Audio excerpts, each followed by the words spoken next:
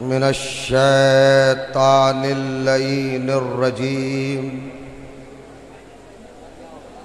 بسم الله الرحمن الرحيم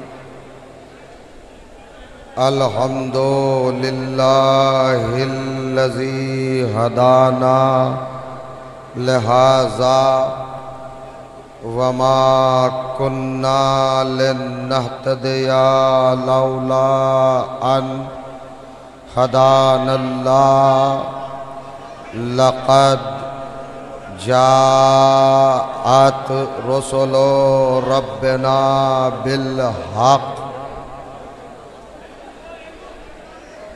الصلاة والسلام على رسول الثقلين محبوب رب المغربين والمشرقين جد الحسن والحسين سيدنا ومولانا أبي القاسم محمد.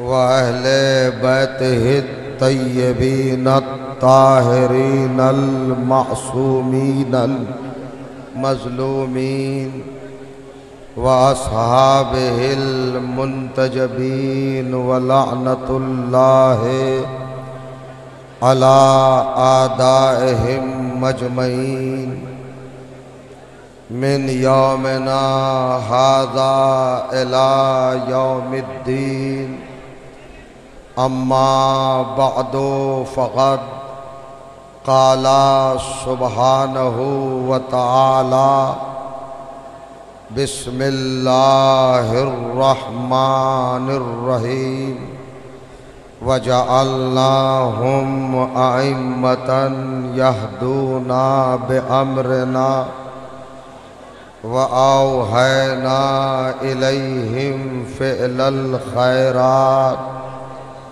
و وإقام الصلاة وإيتاء الزكاة وكانوا لنا عابدين صلوات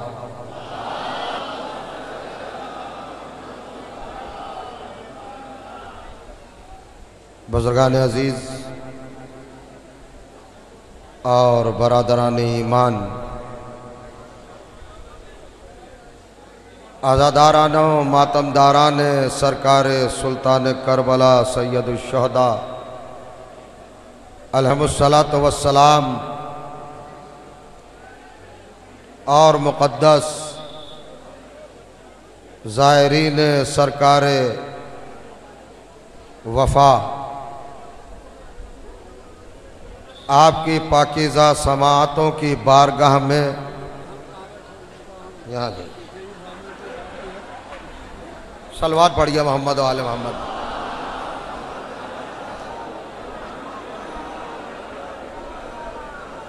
بھائی، یہ پنکھے بند ہو سکیں کہ نہیں؟ نہیں ہو سکتا۔ یہ یہ یہ یہ۔ آواز ہی نہیں آ رہی۔ سلوات پڑھیے محمد و آل محمد۔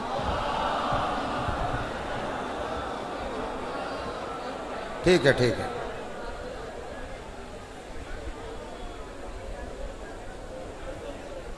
میں نے آپ کی پاکیزہ سماعتوں کی بارگاہ میں عنوان کلام کے طور پر قرآن مجید کی جن گرامی آیات کے تلاوت کرنے کا شرف حاصل کیا، یہ مقدس اور متحر آیات کلام الہی کے اکیسویں سورہ یعنی سورہ مبارک الانبیاء کی بہترویں اور تہترویں دو مسلسل آیات ہیں۔ جن کے حوالے سے کائنات کا پروردگار امامت و ہدایت کے عنوان پر گفتگو فرما رہا ہے۔ چونکہ کائنات انسانیت میں اور جہان بشریت میں ہماری ملت، ہمارے فرقے اور ہمارے گروہ کو فرقہ امامیہ اور گروہ امامیہ کہا جاتا ہے۔ سارے انسانوں میں ہم تنہا وہ قوم ہیں، وہ ملت ہے اور وہ گروہ ہیں جو اماموں کی طرف نسبت رکھتے ہیں اور ان کی طرف منسوب کیے جاتے ہیں۔ ہمارا عقیدہ، ہمارا ایمان، ہمارا یقان ہماری بنیاد، ہماری اساس، ہماری اصل، ہماری جڑ، ہمارا مذہب، ہمارا دین، ہماری عقیدت، سب کچھ امامت ہے۔ لہذا جب ہمارے لیے سب کچھ امامت ہے، تو ہم پر فرض ہے، لازم ہے، ضروری ہے، واجب ہے کہ ہم امامت کو پہچانیں۔ امامت کا عرفان حاصل کریں امامت کی معرفت ہم اپنے ذہنوں میں راسخ کریں۔ امام کون ہوتا ہے، کیسا ہوتا ہے، کن عظمتوں کا حامل ہوتا ہے، کن بلندیوں کا حامل ہوتا ہے، اس کی شان، اس کی شوکت، اس کا مرتبہ، اس کا رتبہ، اس کا عہدہ، اس کا منصب، اس کا مقام، اس کی ذات، اس کی ہستی، اس کا وجود، اس کی شخصیت، اس کی پرسنالٹی۔ اور اس کا مقام کس منزل پہ ہوتا ہے؟ یہ قرآن مجید سے ہم کوشش کریں گے کہ آپ کی بارگاہ میں چند گزارشات، چند نکات اور کچھ پوائنٹ حاضر کریں۔ چونکہ یہ مجلسیں اب ایک حد کے اندر محدود نہیں ہیں، ان کو پوری دنیا میں دیکھا جا رہا ہے۔ یہ لائیو کاسٹ ہو رہی ہے، اپنے بھی سن رہے ہیں اور بیگانے بھی سن رہے ہیں۔ لہٰذا ممبر سے بات ایسے انداز، ایسے طرز، ایسے اسلوب اور ایسے پہلو سے کہی جائے کہ اگر کوئی تسلیم نہ بھی کرے اپنی مذہبی ضرورتوں کی بنا پر اور اپنی دینی مجبوریوں کی بنا پر مگر اس کو رد کرنے کی بھی طاقت نہ ہو سکے، وہ ریجیکٹ بھی نہ کر سکے، جو بات کہی جائے مضبوط ہو، مستحکم ہو سالڈ ہو اور بہت زیادہ اسٹرانگ ہو۔ قرآن کی آیات کی بنیاد پر ہو، قرآن کی آیات کی اساس پر ہو۔ صرف کائنات میں ہم کو یہ شرف حاصل ہے کہ ہم امامت کو مانتے ہیں، ہم امامت کو تسلیم کرتے ہیں۔ ہماری قوم امامت سے نسبت رکھتی ہے، امامت سے انتصاب رکھتی ہے۔ امامت سے تعلق، علاقہ، رابطہ اور وابستگی اور رشتہ صرف کائنات میں ہمارے ہی فرقے کا ہے اور ہماری ہی ملت کا ہے۔ ہم شیعہ بھی کہلاتے ہیں اور امامیہ بھی کہلاتے ہیں۔ امام کو قرآن نے کن عظمتوں سے یاد کیا، کن اہمیتوں سے یاد کیا اور کن بلندیوں سے یاد کیا۔ تو میں آپ کی خدمت میں ایک رخ پیش کرنا چاہتا ہوں کہ انسانوں کی امامت کو جانے دو، آدمیوں کی امامت کو جانے دو۔ قرآن نے تو ہمیں حیرت ناک پہلو یہ عطا کیا ہے کہ اگر وہاں امام مکھیوں کا بھی ہو تو اس کی بھی عظمت ہے، اس کا بھی مقام ہے، اس کا بھی رتبہ ہے۔ اس کا گھر بھی بغیر وہی کے نہیں بنتا، بغیر حکم الہی کے نہیں بنتا۔ ذرا چلیے گا۔ میں آپ کو کہہ لے جانا چاہتا ہوں، آپ امامت کو سمجھے۔ آپ یا علی کہتے ہیں، آپ یا حسن کہتے ہیں، آپ یا حسین کہتے ہیں، مگر منصب کو تو پہچانے، ذات کو تو پہچانے، رتبے کو تو پہچانے، ذات ہستی اور وجود کو تو پہچانے۔ اس منصب کی معرفت حاصل کریں کہ امام کیا ہوتا ہے۔ امامت، اگر مکھیوں کا بھی امام ہو، شہد کی مکھیوں کا امام تو اس کے لیے بھی اگر گھر بنتا ہے، تو اللہ کی وہی کی بنیاد پر بنتا ہے۔ تو کیا اب بھی مسلمان قرآن سمجھ کے اس بات کو نہیں محسوس کر سکا کہ جب مکھیوں کے امام کا گھر بغیر وہی کے نہیں بنتا، تو کائنات کا امام بغیر وہی کے کیسے بن جائے گا؟ توجہ کریں گے آپ۔ حکم الہی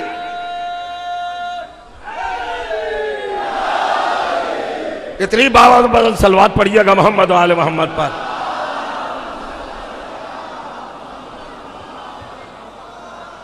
دیکھیں میں آپ کی خدمت میں کچھ عرض کرنا چاہتا ہوں۔ مکھیاں کیا ہیں؟ شہد کی مکھیاں، یہ ہنی والی مکھیاں، یہ جو ہوتی ہیں، ان کا جب گھر بنتا ہے، ان کا امام ہوتا ہے، ان کو پروردگار عالم نے بے امام کے نہیں رکھا۔ اب سورہ نحل، سولہواں سورہ اور دو مسلسل آیات۔ توجہ کیجیے گا۔ اڑسٹھ نمبر اور انہتر نمبر۔ ارشاد ہوا، بسم اللہ الرحمن الرحیم وَأَوْحَا رَبَّكَ إِلَى النَّحْلِ ان اتخذی من الجبال بیوتا ومن الشجر ومما یارشون۔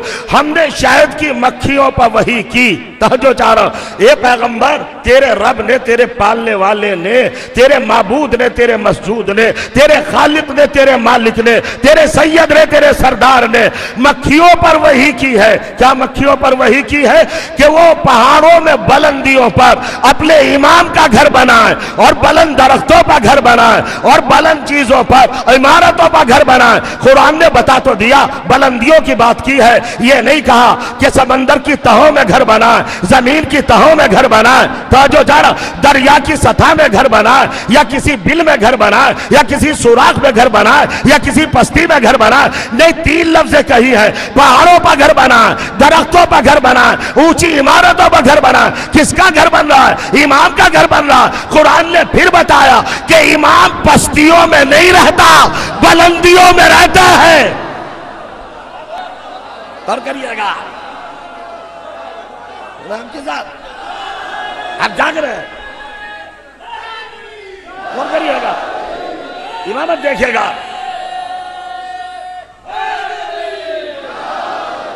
امامت، اب منزل ہے۔ ہم نے وہی کی، ہم نے ڈائریکشن دیا، ہم نے حکم کیا، ہم نے امر کیا، ہم نے مکھیوں سے گفتگو کی۔ کیا گفتگو کی؟ انتخذی وہ گھر بنائے، بیوتا، اپنے امام کے لیے گھر بنائے، اپنے پیشوا کے لیے گھر بنائے، اپنے راہبر کے لیے گھر بنائے۔ وہی کی بنیاد پر بن رہا ہے گھر۔ اللہ کے حکم پہ بن رہا ہے گھر۔ امام کا گھر بھی بندے نہیں بنا سکتے۔ وہی کی بنیاد پر بنے گا۔ اور کہاں پہ بنے گا؟ تین بلندیاں بیان کی۔ پہاڑوں پر۔ پہاڑوں کی ہائٹ۔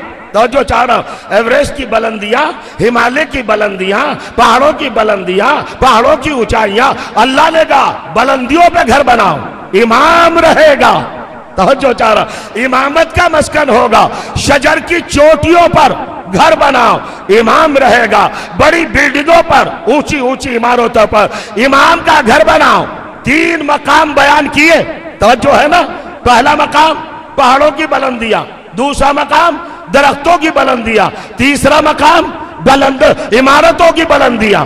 بلڈنگوں کی بلندیاں. تین بلندیوں پر امام رہے گا. تو یہ تو مکھیوں کا امام ہے. قرآن میں کہ مکھیوں کے امام کو تین بلندیاں دی چار نہیں، پانچ نہیں، تین مقامات بیان کیے۔ تو امام وہی تو ہوگا جو کم سے کم تین بلندیوں پہ رہے۔ یہ ہے مکھیوں کا امام جو پہاڑوں پہ رہے گا، جو درختوں پہ رہے گا، جو بلڈنگوں پہ رہے گا۔ اور ہمارا امام کبھی دستے رسول پر رہے گا، کبھی پشتے رسول پر رہے گا، کبھی دوش رسول پر رہے گا۔ یہ ہے امام۔ ٹھیک چلا ہے۔ یہ ہے امام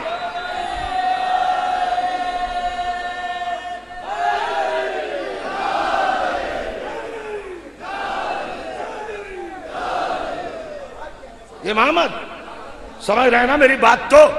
آپ کی پاکیزہ سماعتوں تک پہنچی رہی ہوگی، میں چھوٹا سا طالب علم ہوں۔ بس ایک دو مجلسیں یاد ہیں مجھے، وہی پڑھتا رہتا ہوں آپ کی باغاہ میں۔ اس سے زیادہ میرے پاس میٹر بھی نہیں ہے۔ یہ تو آپ کی محبتیں ہیں، آپ کا پیار ہے، آپ کا لگاؤ ہے، ذرہ نوازی ہے، کرم نوازی ہے کہ اکیس سال سے آپ میری دو ہی مجلسیں سن رہے ہیں۔ اور کریں گے آپ؟ یہ بھی کمال ہے۔ بس مگر ہے، بیان کرنا چاہتا ہوں۔ مکھیوں کا امام۔ غور کریں گے آپ، کیا گھر بنے گا؟ امامت کے لیے قیام کی جگہ بنے گی، سکون کا مقام بنے گا۔ تو اب ہم نے شاید کی مکھیوں سے کہا، کیسے بنائے گھر؟ کس طرح بنائے گھر؟ بناؤ بلندیوں پر گھر، اونچائیوں پر گھر۔ اور پھر کہا، کولی من کل سمرات اور اے شہد کی مکھیوں، ہر پھول سے چن چن کر، چوس چوس کر، رس لے کے آنا۔ جو چاہنا وصلوں کی سبولا، رب کے زلولا اور اللہ کی راہوں میں تابداری سے چلتے رہنا۔ کمال ہے۔ کہاں سے لائیں گی مکھیاں؟ جو گھر بنے گا امامت کا، وہ کن اجزاء سے بنے گا، کن حصوں سے بنے گا، کن پار سے بنے گا، کن اشیاء سے بنے گا۔ پھولوں کے رس سے، پھولوں کے جس سے، پھولوں کی روح نکال کے لائیں گی مکھیاں۔ تو جو چاہ رہا کبھی شہد کی مکھی کو آپ نے گندگی پہ بیٹھے دیکھا، غلازت پہ بیٹھے دیکھا، اب میں آپ کا تعارف دے رہا ہوں۔ کہیں بدبودار جگہ پہ بیٹھے دیکھا، کہیں تعفن والی جگہ پہ بیٹھے دیکھا کئی سمیل والی جگہ پہ بیٹھے دیکھا کئی پلیت جگہ پہ بیٹھے دیکھا کئی سستی جگہ پہ دیکھا کئی پستی پہ بیٹھے دیکھا۔ میں توجہ چاہ رہا ہوں۔ غور کریں گے آپ۔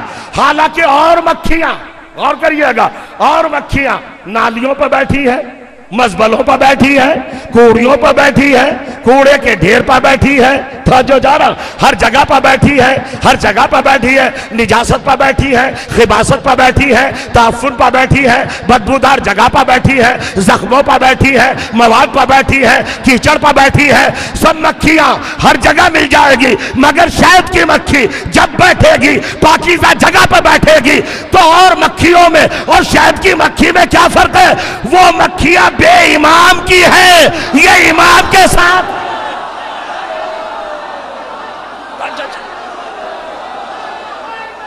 غور کریے گا یہ ہے قرآن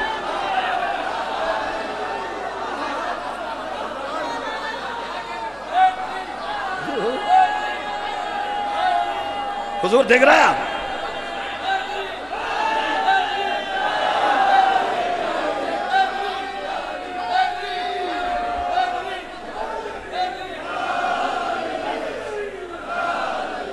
ارے نعرہ لگائیے تو شایان شان ہو۔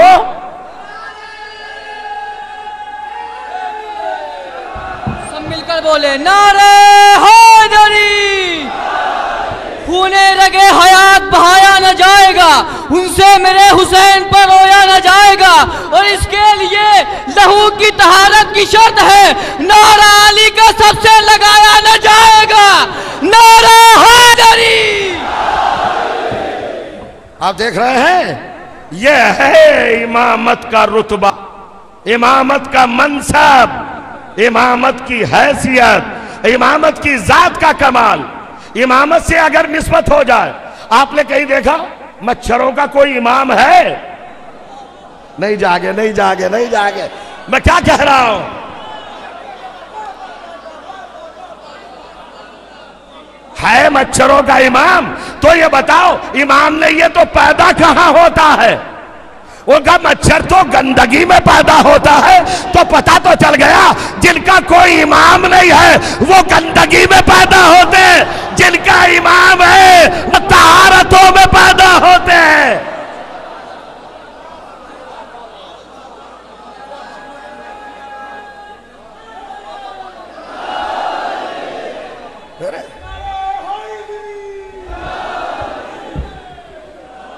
امامت و ہدایت۔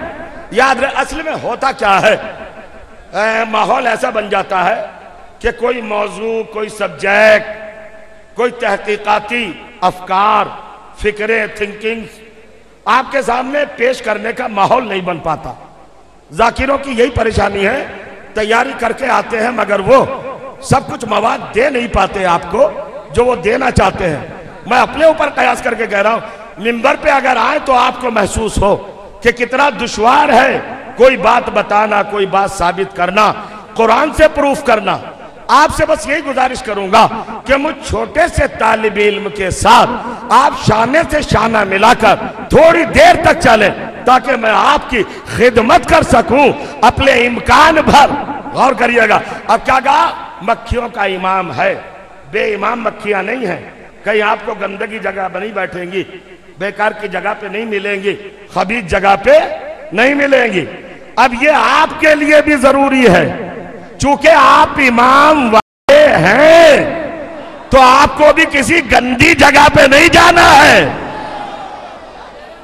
کسی نجیس جگہ پہ نہیں بیٹھنا ہے۔ جہاں غیبت ہو رہی ہو، نہ بیٹھو۔ جہاں چغلی ہو رہی ہو، نہ بیٹھو۔ جہاں گناہ ہو رہا ہو، نہ بیٹھو۔ اور کریے گا۔ جہاں جہالت کی باتیں ہوں، وہاں نہ بیٹھو۔ امامت سے رشتہ ذمہ داریوں کو بڑھاتا ہے۔ اور جو کی جگہ محبت اہل بیت، آپ کی ڈیوٹیز اور آپ کے لوازمات اور آپ کے واجبات کو اور زیادہ بڑھا دیتا ہے۔ اب غور کریں، ہم نے وہی کی شہد کی مکھی پر؟ کیا رہی کی؟ جاؤ، امام کے لیے اپنے گھر بناؤ۔ تمہارا امام گھر میں رہے گا نا؟ اس کے لیے گھر بناؤ۔ وہی کی بنیاد پر بن رہا ہے گھر۔ اور کتنی احتیاطیں ہیں، کوئی گندی چیز نہ لانا، پھولوں کا رس لانا۔ غور کریں آپ، اب چونکہ مرکز وہی بن گئی تھی، مکھی، تو پروردگار نے کیا کہا؟ شاید بہت بڑی بات کہنے جا رہا ہوں۔ اب کہتا ہے، وَيَخْرُجُ مِن بُتُونِهَا شَرَابٌ مُخْتَلِفٌ أَلْوَانُهُ فِيهِ شِفَاءٌ لِلنَّاسِ. ان مکھیوں کے پیٹ میں سے ایک سیال اور ایک بہتا ہوا لکوڈ مادہ نکلتا ہے، جس کے لیے لوگوں کے واسطے جس کے اندر شفا ہے۔ اب دیکھا آپ نے، ہمارے پیٹ سے بھی بہت چیزیں نکلتی ہیں۔ مگر کیا کہا؟ جس پر وہی نازل ہوئی، جاگے ہیں نا؟ متوجہ ہے نا؟ اب سمجھئے، پیٹ سے نکلتا ہے۔ من ان مکھیوں کے شکم سے ایک مادہ نکلتا ہے، ایک لکویڈ نکلتا ہے، ایک سیال چیز نکلتی ہے، ایک شہ نکلتی ہے۔ ہے کیا؟ اسے لوگ کھائیں۔ تو کھائیں؟ اس لیے کہ وہ پاک ہے۔ ذرا توجہ جائے گا۔ ارے، کمال ہو گیا۔ جن وہی مکھیوں پر وہی آ گئی۔ ان کے شکم سے نکلنے والی چیز بھی پاک ہو گئی۔ تمہارے سے جو کچھ نکلے وہ نجیس، نہیں سمجھ رہا اور وہی والی مکھی کے شکم سے جو چیز نکلے وہ پاک۔ تو مسلمانوں، اب تو غور کرو، جب تم ایک مکھی کے برابر نہیں ہو سکتے، نہیں توجہ کی شاید، جب تم ایک مکھی جیسے نہیں ہو سکتے، تو محمد جیسے کیسے ہو سکتے؟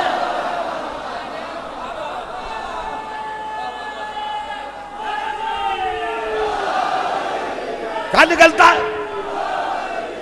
نکلتا کیا ہے؟ دیکھے گا صاحب، عجیب بات ہے۔ یخ من بطونہا۔ شراب ایک مشروب نکلتا ہے، ایک ڈرنک نکلتا ہے، پینے کی چیز نکلتی ہے۔ ان مکھیوں کے شکم سے، ان مکھیوں کے شکم سے جن کو ہم نے مورد وہی بنایا، جن پر ہم نے وہی کی۔ امام کا گھر بنانے کے لیے۔ غور کریے گا، کیا رتبہ دے دیا ان مکھیوں کو جو امام کا گھر بنا رہی ہیں؟ جب جو کچھ شکم سے نکلے گا؟ شہد اس کو لقب کیا ملا؟ ٹائٹل کیا ملا؟ شفا، مرض میں شفا، بیماری میں شفا، درد میں شفا عیب میں شفا، نقص میں شفا، خامی میں شفا، کمی میں شفا۔ توجہ جا شفا ہی شفا ہے۔ ارے قرآن پڑھ کے اب تو فیصلہ لے لو کہ جو مکھیاں چمن کے پھولوں کا رس چوس لے، ان کے شکن سے جو کچھ نکلے، وہ تو شفا ہو جائے۔ تو جس نے رسول کی زبان چوسی ہو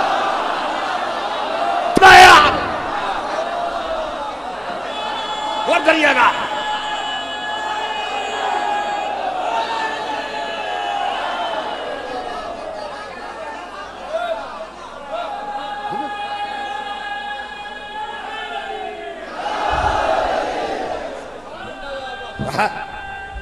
نہیں نہیں رہنے دیجیے پریشان نہیں ہوتا بھئی پھولوں سے رس لیا۔ پھولوں سے رس چوس۔ ہاں۔ اور رس چوس کے مکھی لے کے چلی۔ ہیں اب وہ لے کے آئی اور اس نے اپنے چھتے میں اس کو جمع کیا۔ یہ قرآن ہے۔ میں ابھی تک آیت سے نہیں ہٹا ہوں۔ قرآن ہے۔ اللہ نے کہا شفا۔ یہ شفا ہے شفا۔ شہد شفا، مکھی کا اگلا ہوا لعاب۔ شفا سمجھ میں آ گیا۔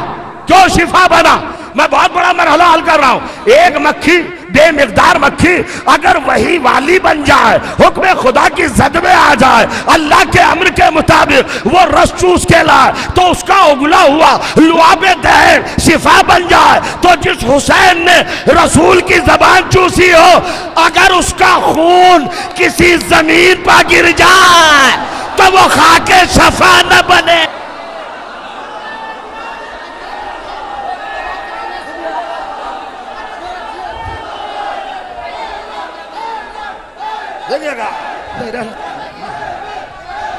دونوں ہاتھوں کو بابا نے بلند کر کے، نعرہ حیدری نعرہ حیدری، نعرہ صلوات۔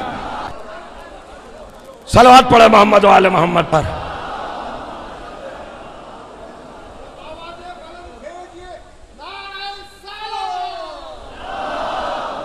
اب دیکھیں میں جس مقام نازک پر ہوں میں ہی سمجھ سکتا ہوں اور میں آپ کو داد دیتا ہوں آپ کا شکریہ ادا کر رہا ہوں کہ آپ میری کجبج بیانی کو پوری شدت کے ساتھ سماعت فرما رہے ہیں۔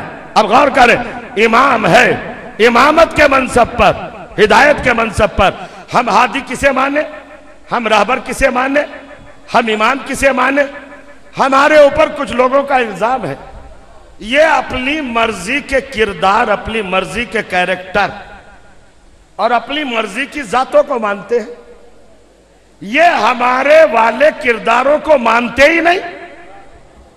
تو ہم مسلمانوں سے ایک گزارش کرنا چاہتے ہیں کہ بھیا، ہم تعصبی نہیں ہیں، ہم حاسد نہیں ہیں، ہم کینہ پرور نہیں ہیں۔ کہ یہ تو صحابہ کو بھی نہیں مانتے۔ اور ہم ہی تو کہتے ہیں ممبر سے۔ جو رسول کے باوفا اصحاب کو نہ مانے، وہ کافر۔ نہیں سمجھے آپ؟ الزام ہے ہمارے اوپر۔ ساری تان کہاں پہ ٹوٹتی ہے آ کر؟ بدنام کرنے کے موقع پر۔ یہ صحابہ کو برا کہتے ہیں۔ یہ صحابہ کو تسلیم کر نہیں کرتے۔ ہم سے بہتر تو صحابہ کو کوئی نہ جانتا ہے، نہ مانتا ہے۔ ہم ہی تو مانتا کہ صاحب آپ برا کہتے ہیں صحابہ کو۔ اے بھیا، آج لڑائی کا دور نہیں ہے۔ آج جھگڑے کا دور نہیں ہے۔ آج اختلاف کا دور نہیں ہے۔ آج اسلام کی ساری طاقتیں مخالف ہے امریکہ مخالف، روس مخالف، چائنا مخالف، ساری طاقتیں مخالف، یہودی لو بھی مخالف کرسچن لو بھی مخالف، آپ کا مشرق مخالف، آپ کا منافق مخالف، آپ کا کافر مخالف، بڑی طاقتیں مخالف۔ اب تو نہ لڑو، آؤ آ کے کمپرومائز کر لو۔ صحابہ پہ ہی رک جاؤ۔ تو جو جا رہا آج تک تم نے الزام لگایا کہ ہم صحابہ کو برا کہتے ہیں۔ آج ہم بگرے کی حضرت عباس کی درگاہ پر وفاداریوں کے ساتھ عہد کرتے ہیں علف اٹھا کر کہ تم ہم طے کر لو کہ ہم کسی صحابی کو برا نہیں کہیں گے۔ تم کسی برے کو صحابی نہ کہنا۔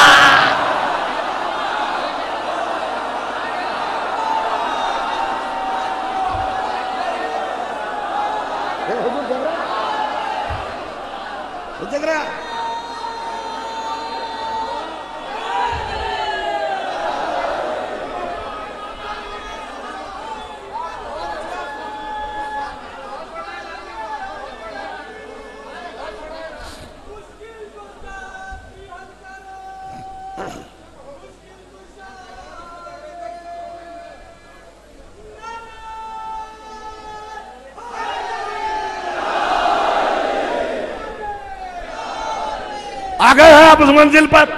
یہ عذاب بس لے دے کر شیعہ لوگ، رافضی لوگ، چونکہ مجلس ہمارے برادران اسلامی بھی سننا ہے نا، ہم ان کی خدمت میں دست ادب جوڑ کر بڑے احترام سے اپنا بڑا بھائی تسلیم کر کے ان سے گزارش کرتے کہ ہمارا ایک ایک لفظ سنو۔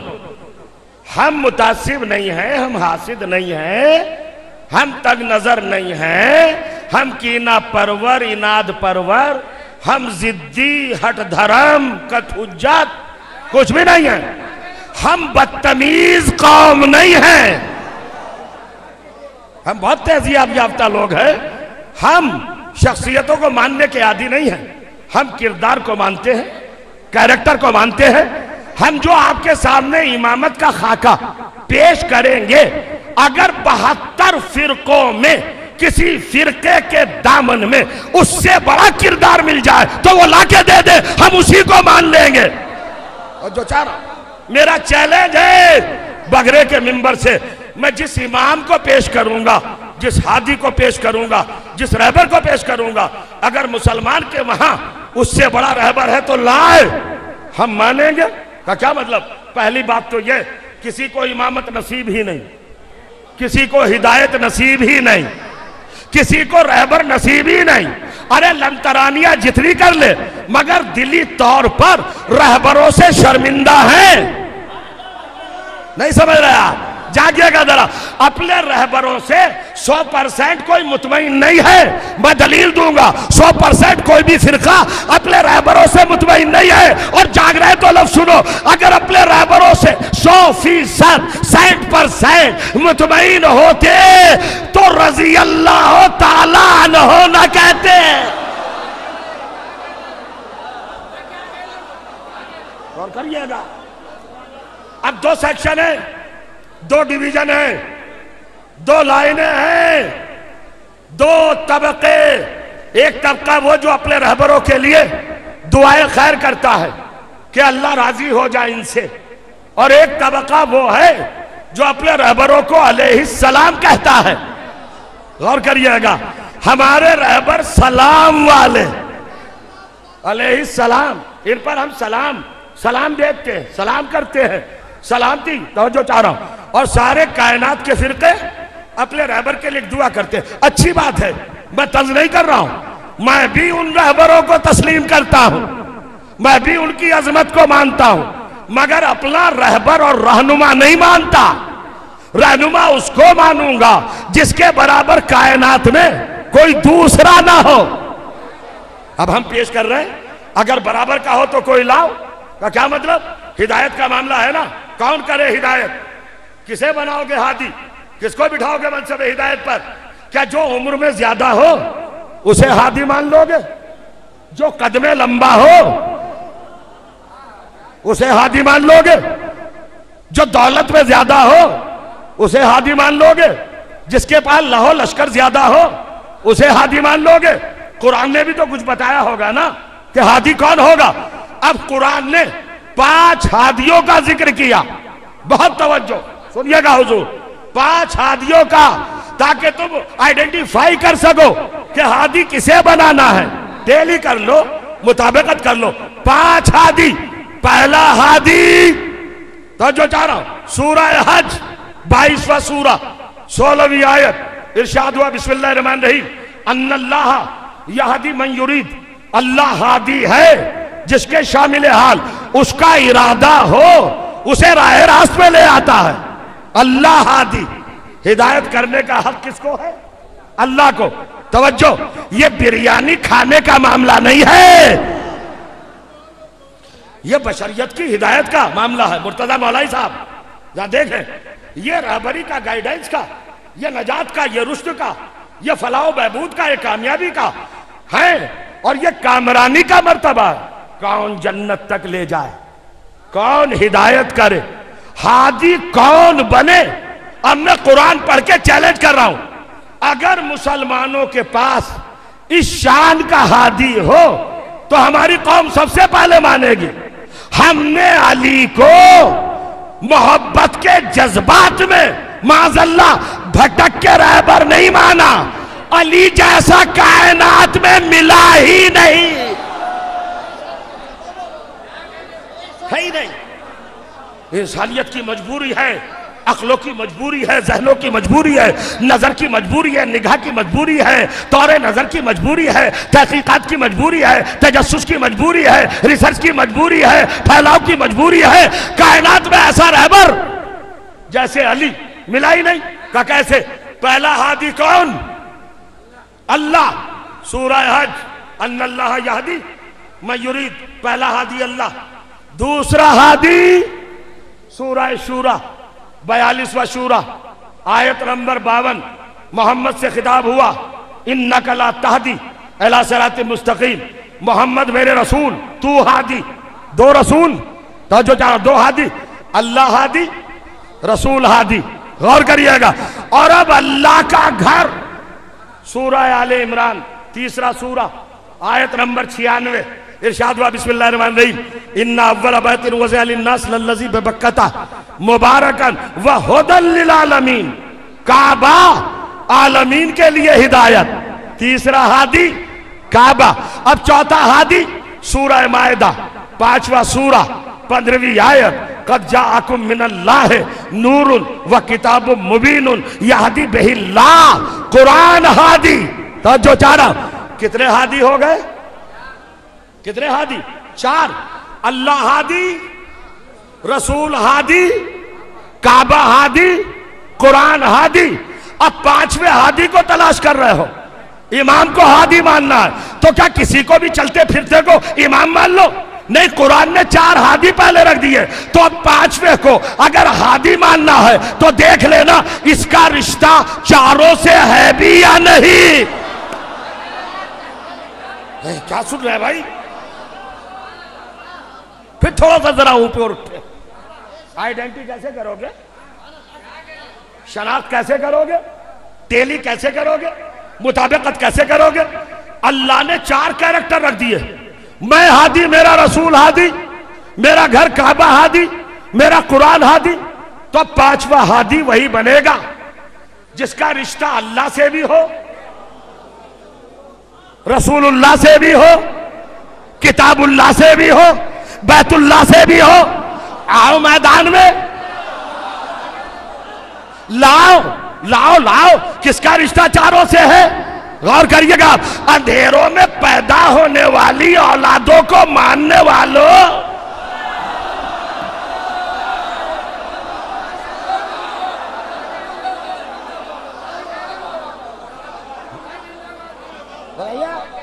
علی کا تقابل کرو گے؟ نو مسلموں سے جنہوں نے ٹھیک سے کلمہ بھی نہیں پڑھا، ان کا مقابلہ علی سے کرو گے، میں اسے ہادی مانوں گا، جس کا ایک ہی وقت میں ان چاروں ہادیوں سے رشتہ ہو۔ ایک بھی اگر بیٹھا رہ گیا تو اپنی خطابت کا نقص سمجھوں گا۔ آپ کو دوش نہیں دوں گا۔ آج کی مجلس میں پوری میں آپ کو کچھ کہوں گا بھی نہیں۔ وہ منزل ہے۔ اللہ ہادی، رسول ہادی، کعبہ ہادی، قرآن ہادی، اب پانچواں ہادی وہ بنے گا۔ امام جس کا رشتہ اللہ سے بھی ہو، رسول سے بھی ہو، کعبے سے بھی ہو، قرآن سے بھی ہو۔ میں قرآن کی قسم کھا کے کہہ رہا ہوں، ہمارے امام کے علاوہ کسی کا رشتہ چاروں سے ہے ہی نہیں۔ کہا آپ کا رشتہ کیسے ہم نے علی کو مانا۔ علی کا رشتہ چاروں سے ہے۔ اللہ سے رشتہ نفس اللہ بن کے آیا۔ کعبے سے رشتہ کعبے میں پیدا ہوا۔ رسول سے رشتہ رسول کے ہاتھوں پہ آیا۔ قرآن سے رشتہ قرآن پڑھتا ہوا۔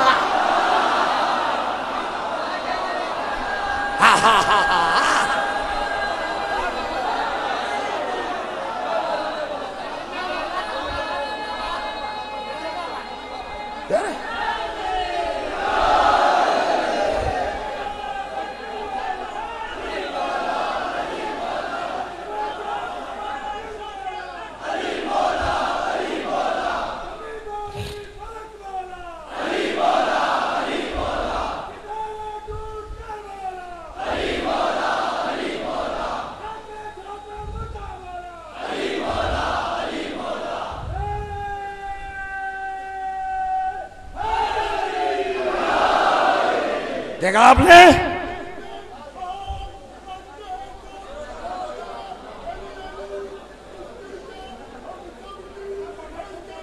نہیں نہیں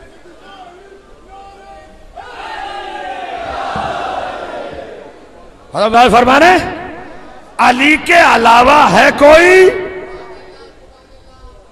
جس کا رشتہ چاروں سے ہو علی کے علاوہ کوئی نفس اللہ ہے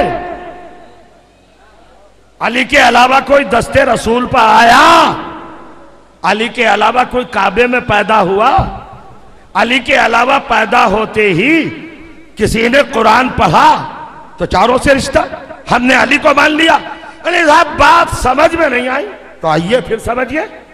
قرآن مجید سمجھائے گا، ہادی کون بنے؟ رہبر کون بنے؟ رہنما کون بنے؟ عزیز و بڑا، عجیب و غریب مرحلہ۔ آپ کے حوالے کر رہا ہوں۔ کون بنے امام؟ کون بنے رہبر؟ کون بنے رہنما؟ اب دیکھیے، قرآن نے ہمارے سامنے ایک مسئلہ رکھا۔ اس کو سمجھیے گا۔ اور آپ کو سننا تو وہی ہے جو سنایا جائے گا۔ غور کریں آپ اب منظر دیکھیے۔ اللہ نے ہدایت کا منظر پیش کیا قرآن میں۔ بسم اللہ الرحمن الرحیم۔ سورہ بقرہ، دوسرا سورہ۔ آیت نمبر دو سو چھیاسی اور دو سو ستاسی۔ میں پڑھ رہا ہوں۔ ذاکر نائک کوئی حوالے یاد نہیں ہے، ہمیں بھی ہے۔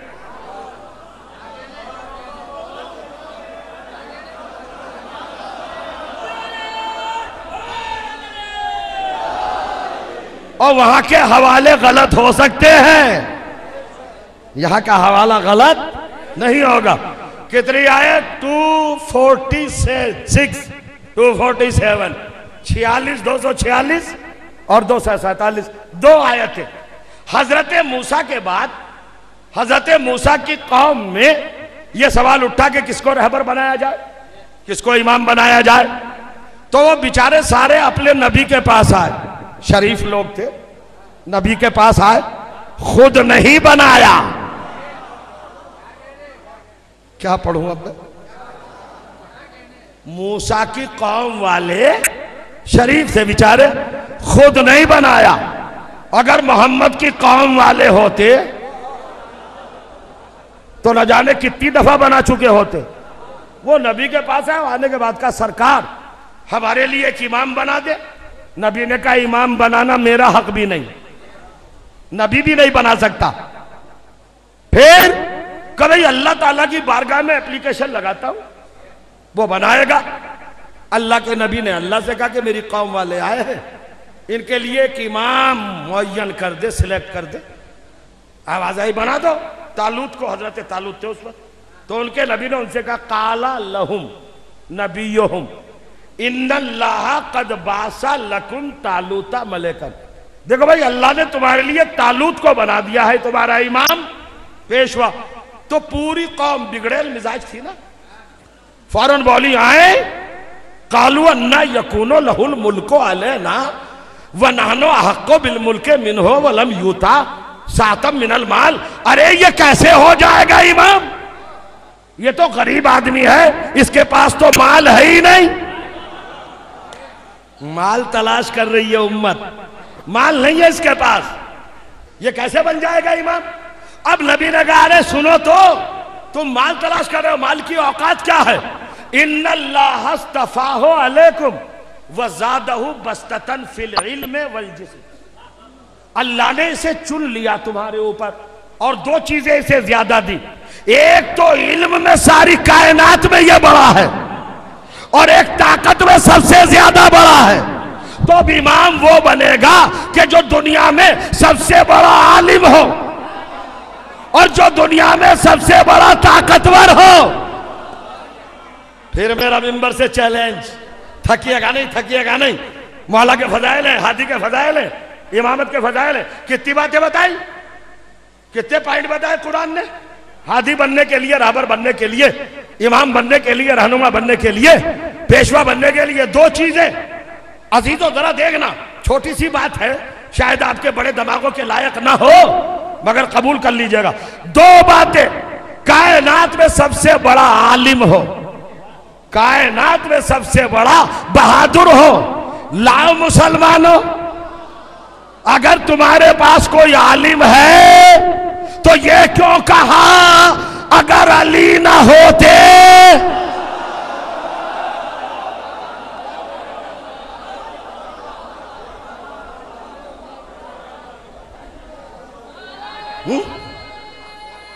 حضور دیکھیا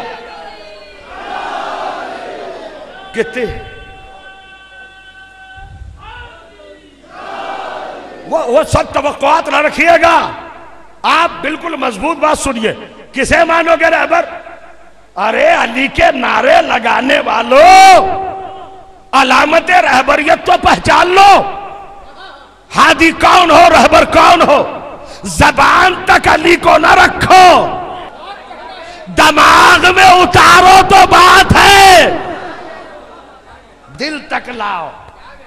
دماغ تک لاؤ۔ کئی چیزوں میں منفرد ہو۔ سپیریئر ہو۔ ممتاز ہو۔ ساری کائنات میں دو چیزیں۔ زیادہ بستتن فی العلم والجسم۔ علم میں زیادہ ہو اور جسم طاقت میں زیادہ ہو۔ لاؤ بھائی، اگر عالم ہو تو لاؤ۔ تمہارے پاس کائنات میں سب سے بڑا عالم ہے۔ کسی کے پاس چپ۔ کائنات میں سب سے بڑا شجا ہے۔ کسی کے پاس کہا ہمارے پاس تو نہیں ہے۔ تمہارے پاس کیا ہے؟ ارے بھیا، ہم نے جس کو مانا، اس کا بچپنا بھی اس منزل پر۔ اس کا آغاز بھی اس منزل پر، اس کا انجام بھی اس منزل پر۔ آپ کہیں گے کیا؟ قرآن نے معیار دیا کہ وہ علم میں زیادہ ہو، وہ جسم میں زیادہ ہو، شجاعت میں زیادہ ہو۔ ہم نے علی کا دامن پکڑا، علی سے بڑا کون عالم ہوگا جو آتے ہی قرآن پڑھ دے آتے ہی قرآن پڑھ کے بتایا کہ مجھ سے بڑا کوئی عالم نہیں ہے۔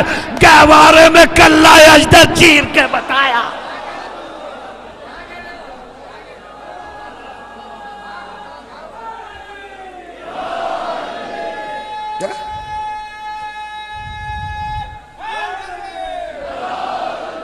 اس مرحلے پر بھی پھنس جاؤ گے کہ بھائی جس کے پاس طاقت زیادہ ہو، علم زیادہ ہو امام مان لو۔ تو آج کے ٹولے نکل پڑیں گے۔ ڈریکلین ہو ہو کر۔ ہاں بہترین لباس پہن پہن کر۔ تبلیغ پر نکل پڑیں گے۔ دیکھو بھائی قرآن نے دو صفتیں بیان کی ہیں۔ جسے رہبر مانو، جس کے بعد سب سے زیادہ علم ہو اور جس کے بعد طاقت ہو۔ امریکہ کو مان لو۔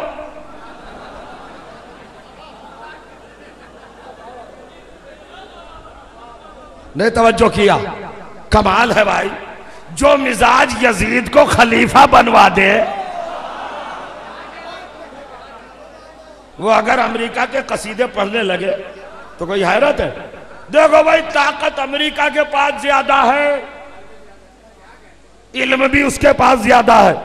تم تو زمین پہ ہی بیٹھے ہو ابھی تک۔ وہ آسمانوں کی بلندیوں سے بھی ادھر چلا گیا۔ کتنا علم ہے۔ اللہ نے کہا بھائی یہ معیار بھی ٹوٹ جائے گا۔ سامنے ہی سے ہی ٹوٹ جائے گا۔ ظاہری طور پر لے تو آئے گا کہ ہمارے پاس علم ہے، ہمارے پاس طاقت ہے۔ اللہ نے کہا نہیں، ایک صفت اور بتا دوں۔ رہبر وہ بنے گا جو کائنات میں کسی سے نہ پڑھے۔ ارے کمال کر رہے ہیں آپ۔ جو دنیا میں کسی سے نہ پڑھے۔ اللہ پڑھا کے بھیجے ہاں؟ ذرا سی سستی اتارو۔ غفلت، شکن، سلوات پڑھے تو آگے بڑھو۔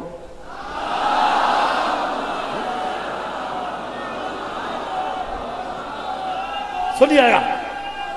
دیکھ رہے ہیں جو محنت ہے۔ اب میں محنت پیش کر رہا ہوں قرآن سے۔ بھائی دونوں باتوں میں کوئی بھی کلیم کر دے گا ملک آ کر۔ ارے بھائی میرے پاس طاقت ہے، technology, atom bomb, nuclear bomb. اب مجھ سے بڑا طاقتور کون ہوگا؟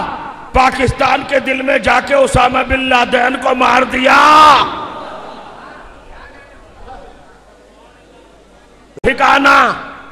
میں نے اسامہ ابن لادین کو تلاش کر ہی لیا۔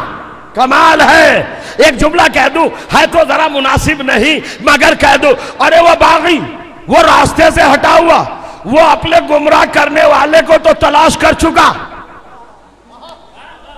اللہ جانے کہاں ہے۔ کر لیا تلاش۔ بورا تورا پہاڑیوں پر ہے، ملا عمر کے ساتھ ہے۔ بہت ساری باتیں آتی، کہاں ہیں، کہاں نہیں ہیں۔ افغان کی گھاٹیوں میں پہاڑیوں پر ہے۔ بارہ سال سے تو ملا نہیں تھا۔ نائن الیون سے نہیں ملا تھا نا، تلاش کر رہے تھے۔ مگر بھائی، کیا کہنا امریکہ کا؟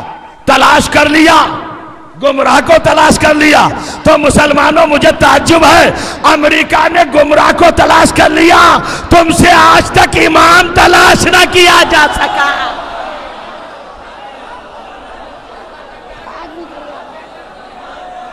سلوات پر یہ محمد و آل محمد پر۔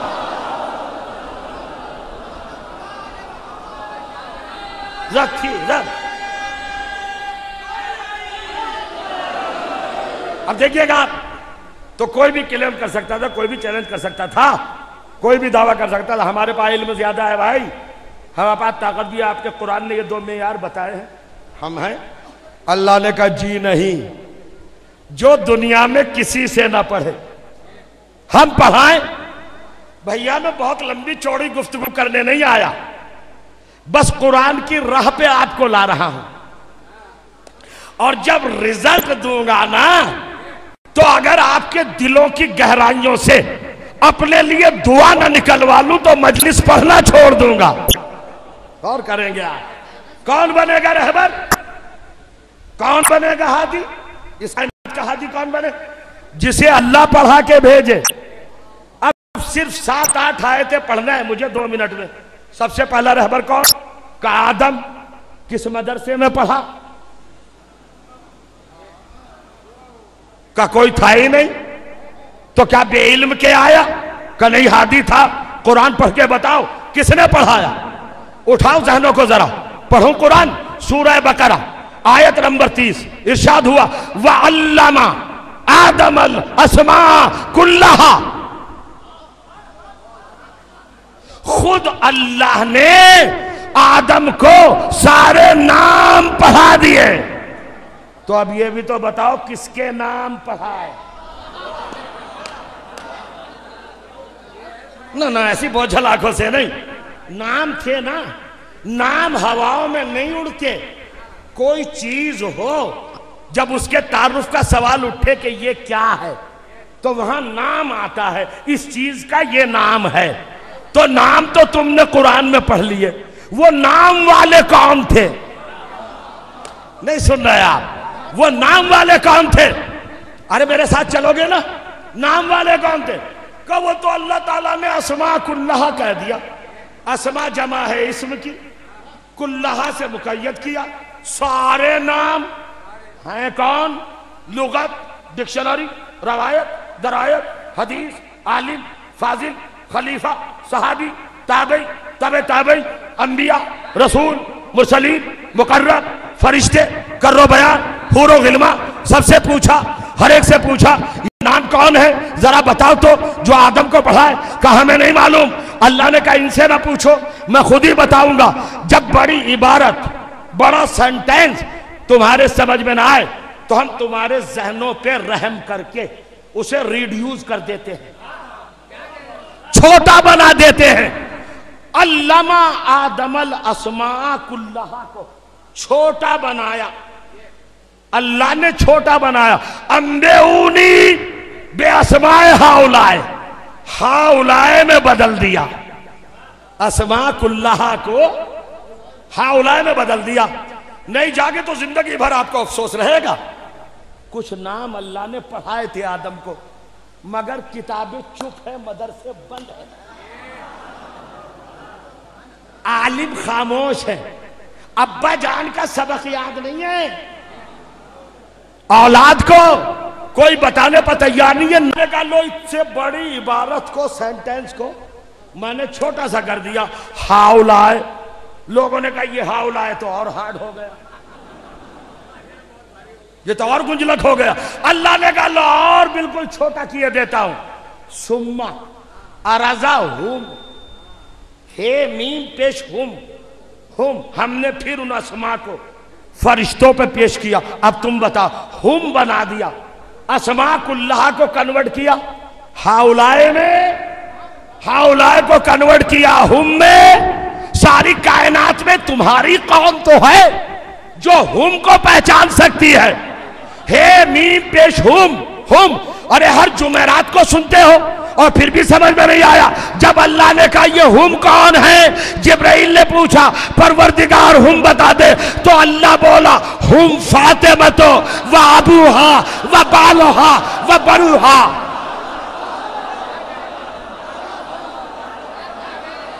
ایسے نہیں، بابا سے بلن دیکھئے گا۔ آپ ٹھیک ہو سو؟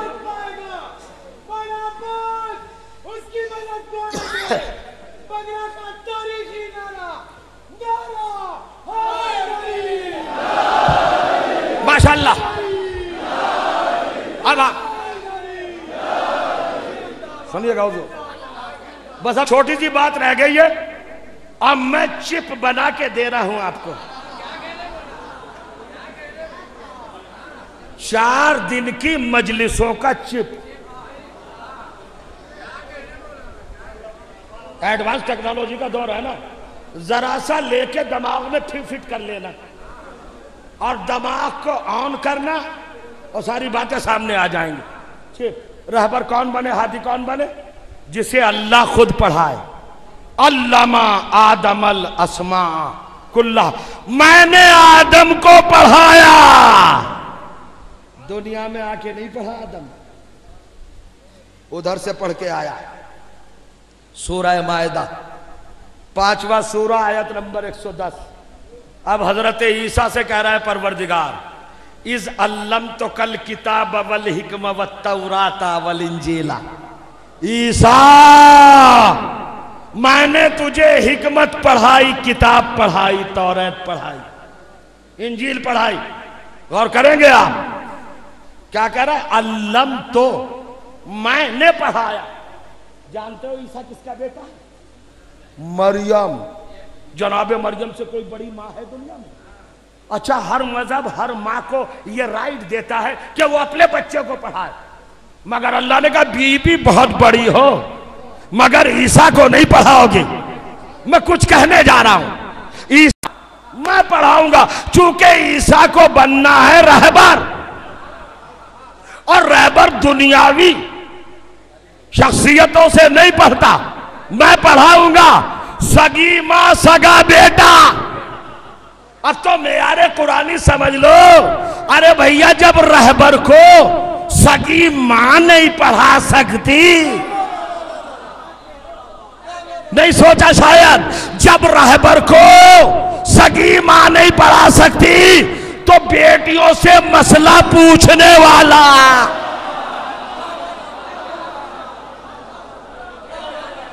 معلومات ہی نہیں؟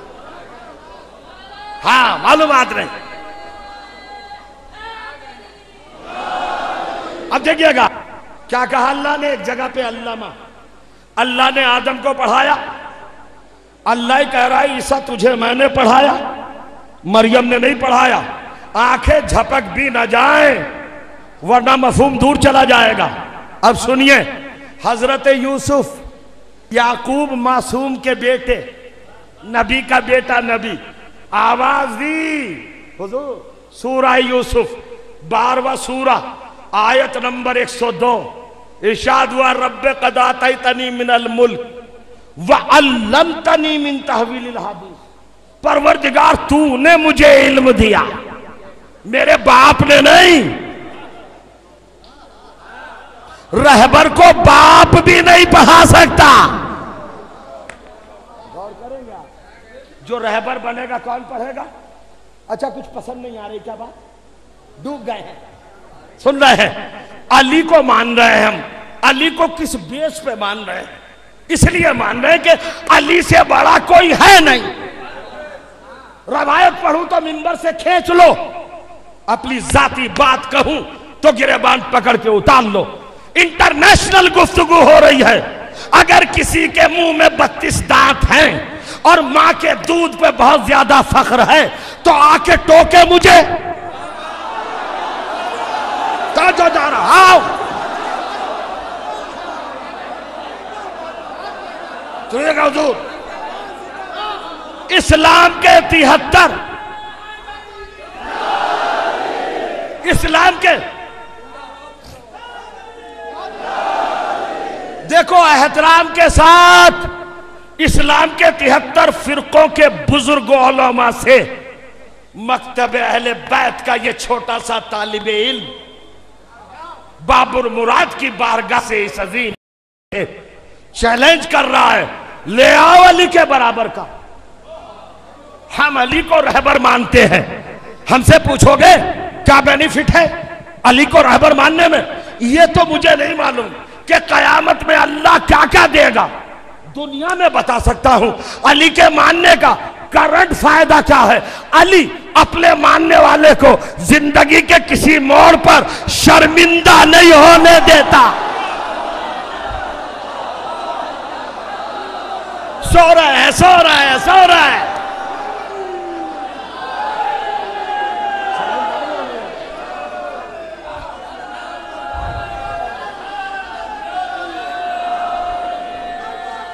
پڑھوا دے اللہ۔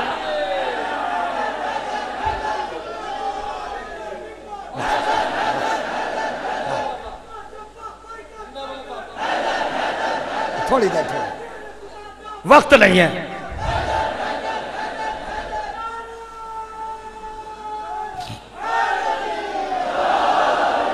وہ بات رہ جائے گی، بات رہ جائے گی۔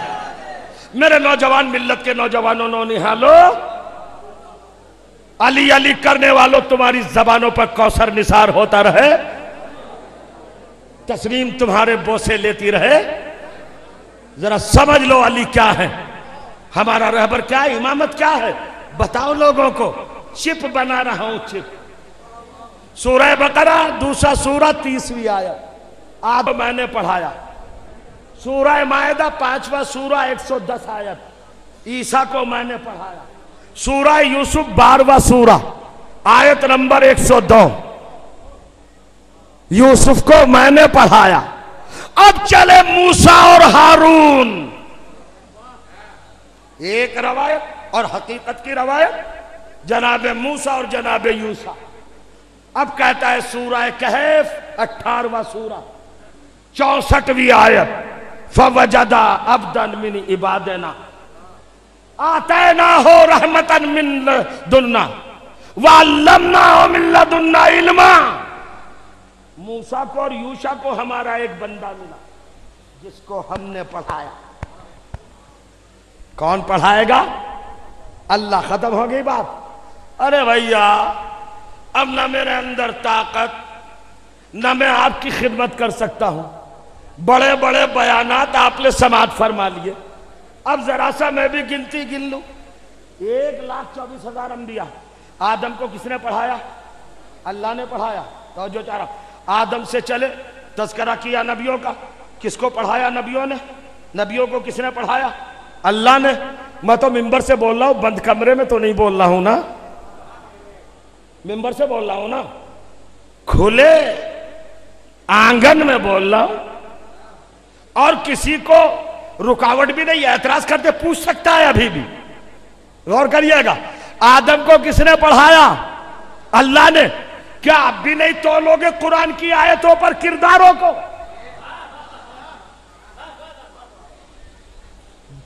اپنی اندر کے انسان کو باہر نکالو۔ اب یہ باہر نکالنے کا دور آ گیا۔ ہے توجہ کیجیے گا۔ میں تفسرہ تو کر ہی نہیں سکتا، چھوڑ دیا میں نے بالکل۔ نہ کسی کو کچھ کہوں گا، مجھے جو سنانا ہے، آپ کا شکریہ ادا کر کے سنا کے چلا جاؤں گا۔ ایک لاکھ چوبیس ہزار انبیاء میں سے ایک لاکھ تیس سو تین نو سو ننانوے انبیاء۔ کس نے پڑھایا؟ اللہ نے۔ پڑھو گنتی۔ آدم کو کس نے پڑھایا؟ اللہ نے۔ شیش کو کس نے پڑھایا؟ اللہ نے۔ بیارت کو کس نے پڑھایا؟ اللہ نے۔ میلائل کو کس نے پڑھایا؟ اللہ نے۔ قینان کو کس نے پڑھایا؟ اللہ نے۔ لمک کو کس نے پڑھایا؟ اللہ نے خاشے کو کس نے پڑھایا؟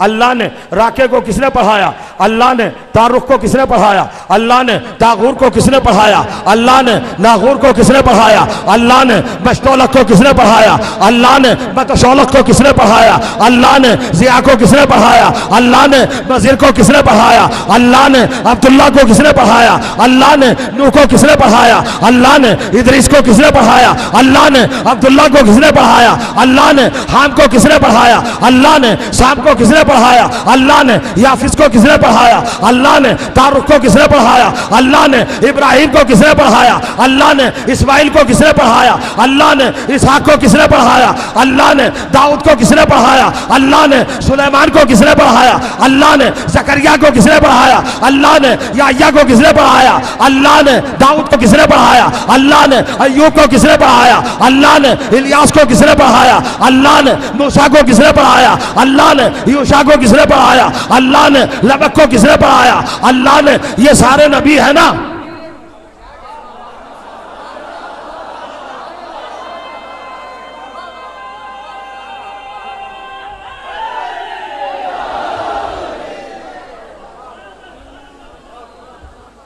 دیکھ رہے ہیں؟ آپ کس نے پڑھایا؟ عیسیٰ سے چلو آدم تک۔ جاگ رہے ہیں آپ بالکل۔ چار دن کے بعد بھی پہلی بار مکمل آمادہ ہے، ماشاءاللہ. سنیے گا، عجیب منزل پہ لے آیا. عیسیٰ سے چلو آدم تک کاؤنٹنگ کی سوئی، ایک لاکھ تیئیس ہزار نو سو ننانوے انبیاء رسول مرسلین، اولو العزم بڑے پیغمبر، صاحب شریعت، صاحب کتاب صاحب کلمہ کس نے پڑھایا؟ اللہ نے پڑھایا۔ ہیں؟ تو یہ کسی کے بیٹے تو ہیں؟ کہ جی شیش آدم کا بیٹا کہاں پیدا ہوا؟ آدم کے گھر میں پڑھایا کس نے؟ اللہ نے۔ لمک کہاں پیدا ہوا؟ شیش کے گھر میں پڑھایا کس نے؟ اللہ نے۔ عیسیٰ کہاں پیدا ہوا؟ مریم کے گھر میں پڑھایا کس نے؟ اللہ نے۔ نوح کہاں پیدا ہوا؟ عبداللہ کے گھر میں پڑھایا کس نے؟ اللہ نے اسماعیل کہاں پیدا ہوا؟ ابراہیم کے گھر میں۔ پڑھایا کس نے؟ اللہ نے۔ ابراہیم کہاں پیدا ہوا؟ تاروخ کے گھر میں۔ پڑھایا کس نے؟ اللہ نے۔ موسیٰ کہاں پیدا ہوا؟ عمران کے گھر میں۔ پڑھایا کس نے؟ اللہ نے۔ خضر کہاں پیدا ہوا؟ ارمیا کے گھر میں پڑھایا کس نے؟ اللہ نے۔ ارے بیدار ہو گئے نا؟ تو جو چاہ رہا ہوں، جو سارے بندوں کے گھر میں پیدا ہوئے، جب انہیں اللہ نے پڑھایا، تو جو پیدا ہی اللہ کے۔ اللہ کے۔ کہاں بھائی؟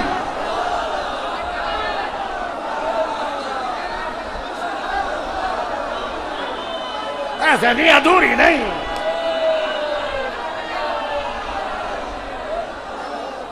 دیکھیے گا۔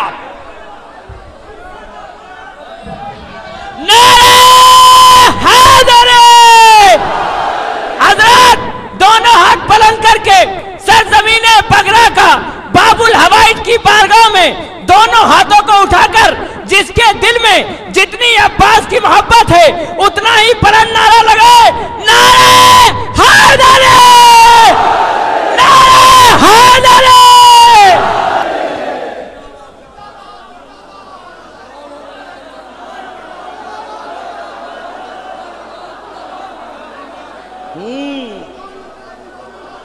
آپ بیٹھ جائیے، لوگ سننے والے بھی سن لیں ذرا سا۔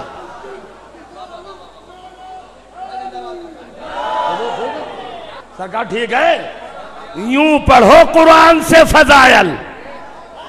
ایسے بتاؤ رہبر۔ بتاؤ، ہر نبی نبی کے گھر میں پیدا ہوا کہ نہیں؟ تو بندے بندوں کے گھر میں پیدا ہوئے۔ میری قوم کے مدارس، عالم اسلام کے مدارس۔ نازمیہ سلطانیہ وائزین حوضہ علمیہ ندوہ بریلی دیوبند، مصر قوم نجف مشہد، سب تک اپنی حقیر آواز پہنچا رہا ہوں۔ اگر میرے دعوے کو کوئی توڑ دے، تو حضرت کی بارگاہ میں مجلس پڑھ رہا ہوں مجلس پڑھنا چھوڑ دوں گا۔ اتنی مضبوطی کے ساتھ بات کہہ رہا ہوں۔ غور کریے گا۔ سارے انبیاء، سارے مرسلین، سارے اولو العظم سارے رہبر، سارے عادی، سارے رہنما، سارے پیشوا، سارے ریفارمر۔ بندوں کے گھر میں پیدا ہوئے تو چونکہ ہادی بننا تھا تو اللہ نے خود پڑھایا۔ تو اب تو فیصلہ کرو۔ جو پیدا ہی اللہ کے گھر میں ہوا ہو،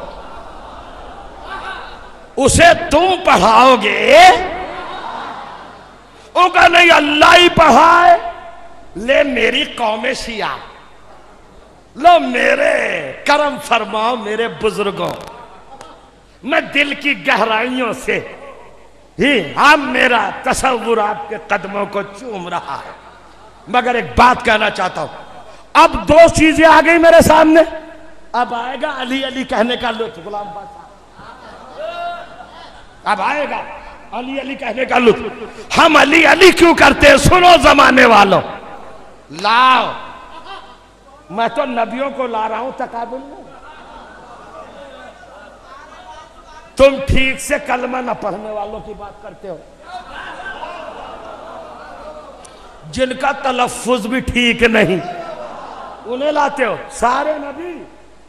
سنیے، غور کریے، سارے انبیاء کون؟ اپنے اپنے باپ کے گھر میں پیدا ہوئے۔ یا اپنی ماں کے گھر میں ایک۔ عیسیٰ، مگر اللہ نے پابندی کیا لگائی۔ خبردار! میرے نبیوں، ان کو نہ پڑھانا۔ یہ میری بارگاہ کے رہبر ہیں۔ میرے قرآن کا اصول ہے۔ جو ہادی بنے اسے میں بناؤں گا، پڑھاؤں گا۔ تو جو بندوں کے گھر میں پیدا ہوئے، انہیں تو اللہ نے پڑھایا۔ تو جو پیدا ہی اللہ کے گھر میں ہو، اسے کون پڑھائے؟ کہ عقل کہتی ہے، اللہ پڑھائے۔ یہاں تک تو لے آیا۔ اب پڑھانے کا بھی تو معاملہ ہے۔ اللہ کے گھر میں اور بندوں کے گھر میں کچھ فرق نہیں ہے کیا؟ تو اب علم کا اسٹیٹس کیا ہے؟ جو بندوں کے گھر میں پیدا ہوئے انہیں بھی پروردگار تو نے پڑھایا۔ اور جو تیرے گھر میں پیدا ہوا، اکیلا میرا علی، اسے بھی تو نے پڑھایا۔ تو کیا سب کو برابر برابر پڑھایا؟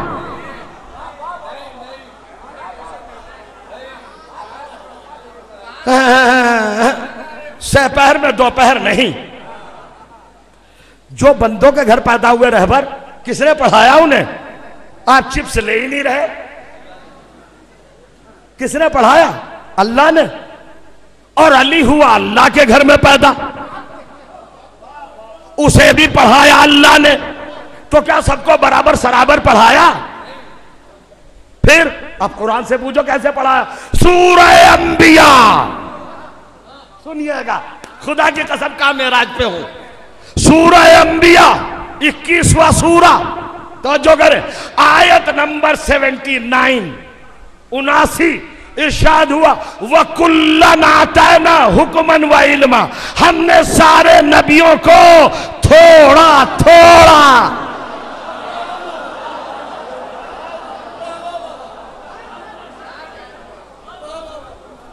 نہیں کہوں گا، نہیں کہوں گا، کچھ۔ نہیں کہوں گا۔ جنہیں اللہ نے پڑھائے جو نبیوں کے گھر میں پیدا ہوئے بندوں کے گھر میں۔ ہے نا؟ قبول کر لیجیے میری بات۔ انہیں کس نے پڑھایا؟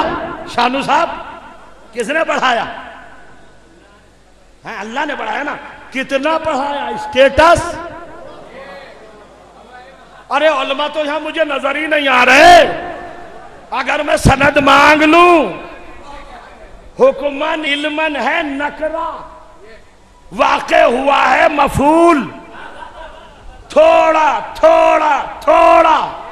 انبیاء کو پڑھایا، تھوڑا تھوڑا۔ نہیں سمجھے آپ؟ یہ اللہ کا تھوڑا ہے، ملا کا تھوڑا نہیں ہے۔ ذمہ داری نبھائیے اپنی ذمہ داری۔ سمجھ لیا؟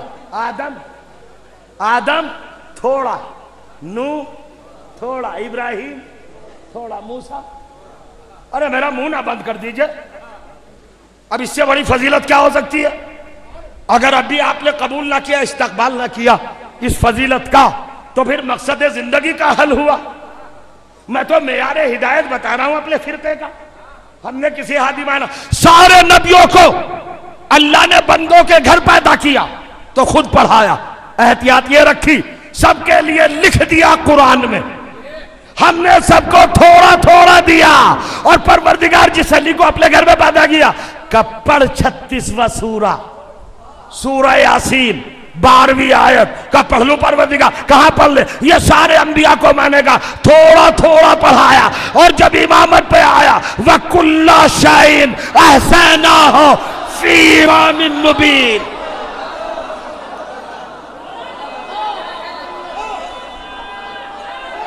ختم ہو ختم ہو رہی بات۔ اس طرح۔ قرآن چل رہا ہے نا؟ چل رہا ہے قرآن۔ سب کو کیا؟ سب قائم ہیں؟ اب آپ تو شاعر ہیں، اہل شعور ہیں۔ حساس طبیعتیں ہیں۔ اب دو باتیں آ گئیں۔ اب آپ کی طرف سے کہوں گا، اپنی طرف سے نہیں۔ چونکہ خطابت کا جملہ کہنے جا رہا ہوں۔ انبیاء تھوڑا تھوڑا، علی، امامت، کل شے ایوری تھنگ ہر چیز کہنے والا کون؟ جو پیدا کرنے والا۔ اللہ کہہ رہا ہے، جتنا میں نے پیدا کیا، وہ سب اس کے پاس۔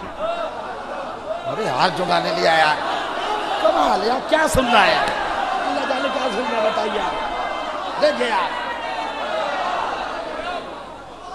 ارے بھائی، یہ کسی صحابی کی۔ ہیں؟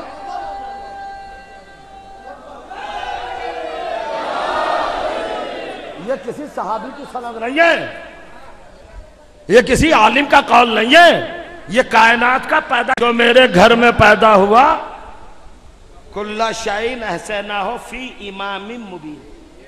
میں نے امام کو دے دیا۔ اور آیت کا نمبر بھی تو دیکھو، بارہ۔ چونکہ تذکرہ امامت کا ہے نا۔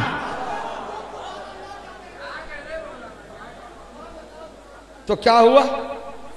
اتنی موٹی موٹی کتابیں لکھی گئی، اللہ کی قسم۔ علم کلام میں۔ اب وہ باتیں آپ کے سبجیکٹ سے الگ ہے وہ نہیں کہوں گا۔ اتنی موٹی موٹی۔ اور بھائی، نبوت کی ڈیفینیشن کیا ہے؟ وہ امامت کی میننگ کیا ہے؟ مجھے نہیں پتا کیا ہے۔ کتابیں تمہیں مبارک۔ میں تو ممبر سے بول رہا ہوں، قرآن کو لے کر۔ قرآن نے مجھے نبوت کا بھی لیٹسٹ ٹرانسلیشن بتایا۔ اور امامت کا بھی۔ آج سن کے جاؤ، نبوت کیا ہے؟ اور امامت کیا ہے؟ امامت کے لیے کا کلن آتینا حکمن، نبوت کے لیے حکمن و اور امامت کے لیے کا کلہ شہ توجہ چاہ رہا ہوں۔ وہاں جز یہاں کل۔ تھوڑا تھوڑا۔ توجہ چاہ رہا ہوں۔ تو اس کا بھی تو ترجمہ ہونا چاہیے۔ تھوڑے تھوڑے کا ترجمہ ہے، کچھ کچھ۔ جاگے۔ ارے، میں ترجمہ دے رہا ہوں۔ آج کے بعد نبوت و امامت کی تصویر دل میں لگا لینا۔ نبوت کا ترجمہ ہے کچھ کچھ۔ امامت کا ترجمہ ہے سب کچھ۔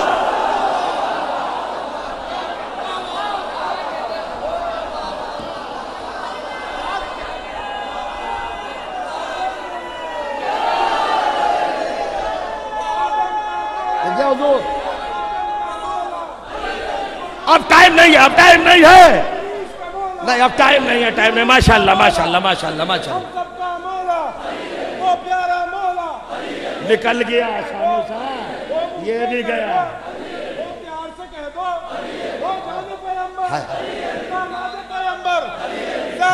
شوہر حسنین کا بابا عباس کا بابا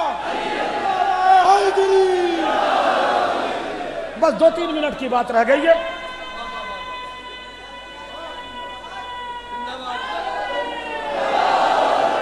آ سنو انٹرنیشنل پرابلم جو تمہارے خلاف کریٹ کی گئی انٹرنیٹ پر، کمپیوٹر پر، آئی ڈی، ای میل، سب میں تمہارے خلاف ایک تحریک چلی۔ یہ فرقہ نبیوں سے بڑھا دیتا علی ولی اللہ کہتا ہے۔ اپنے کلمے میں بھی، اذان میں بھی، اقامت میں بھی۔ نبوت پہ رکتا ہی نہیں۔ علی تک آتا ہے علی ولی اللہ ابھی تو قرآن نے بتایا، نبوت کا ترجمہ کچھ کچھ۔ امامت کا ترجمہ سب کچھ۔ ہم اذان میں، کلمے میں، اقامت میں، کلام میں۔ نبوت کے بعد علی ولیہ پڑھ کر، زمانے کو یہی تو بتانا چاہتے تم کچھ کچھ والے ہو۔ ہم سب کچھ والے۔ ہم سے بحث نہ کرنا۔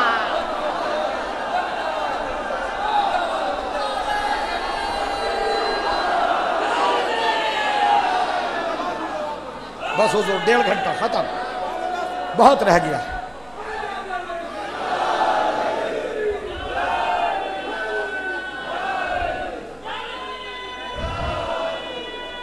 ہاں حضور۔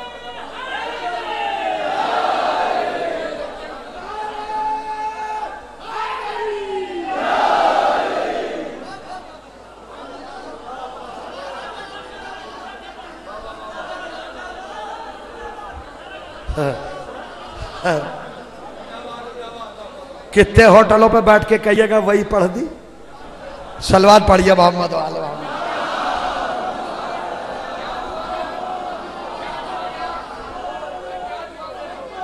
سنیے۔ دیکھیے گا آپ ہم ہیں سب کچھ۔ تمہارے پاس کچھ کچھ۔ ہمارے پاس ارے کیسے آپ کے پاس سب کچھ؟ ہے ہے۔ جو چارو۔ آپ نے کلّا شائن احسینہ فی امام مبین کا ترجمہ علی کو کیا؟ اللہ نے تو امام مبین لکھا ٹیکنیکل ٹرم سننا بھائی پیغام لے کے جانا۔ میں بگرے میں پڑھ رہا ہوں اور اپنے مجمع میں۔ اپنے مجمع میں اتنی لمبی زبان نکال سکتا ہے آدمی۔ الٹی سیدھی چلا چنگھاڑ۔ ہاتھ، پیر، ایکشن، ایکٹنگ،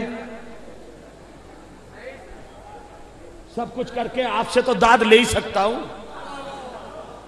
مگر میں جا رہا ہوں دوسروں تک۔ میں جا رہا ہوں دوسروں تک۔ ان کا کلیم آ گیا۔ کلیم نہیں، آبجیکشن۔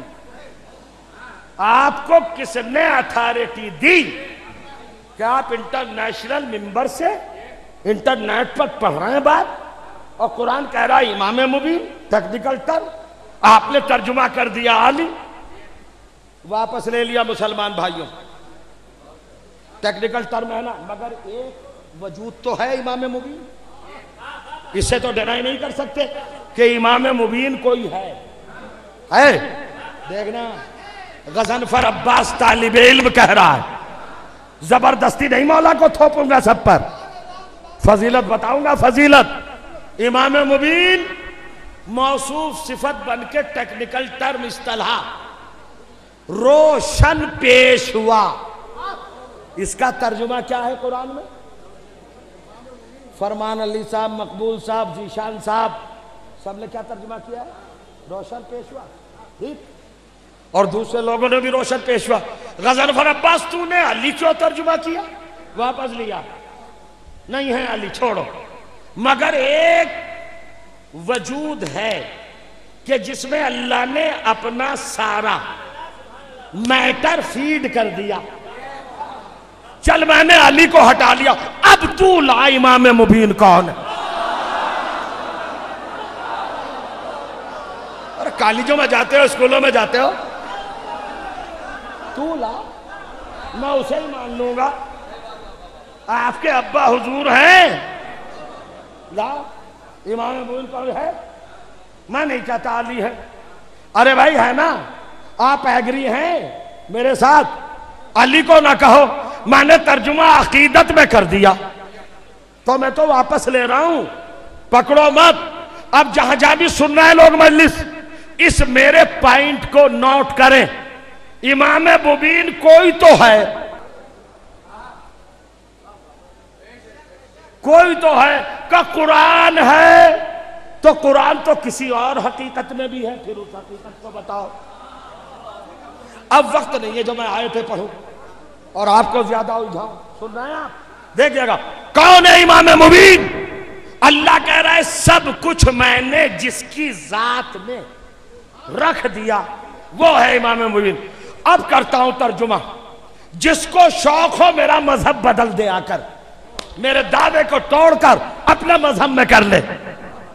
سنیے گا، میں چیلنج کر رہا ہوں بیٹے کی بارگاہ میں باپ کی فضیلت کا۔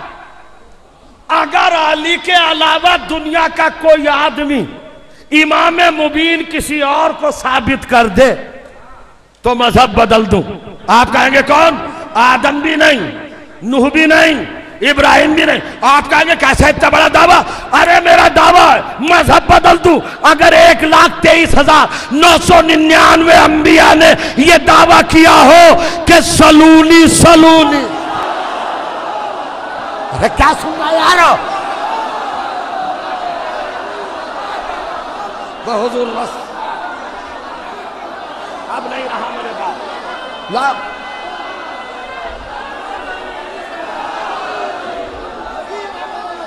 دیکھیے سرکار۔ انصاف کر رہے ہیں۔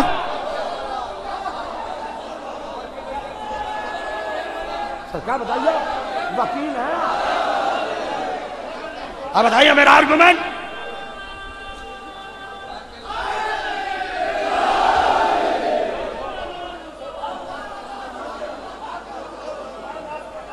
حضور کچھ محسوس کیا؟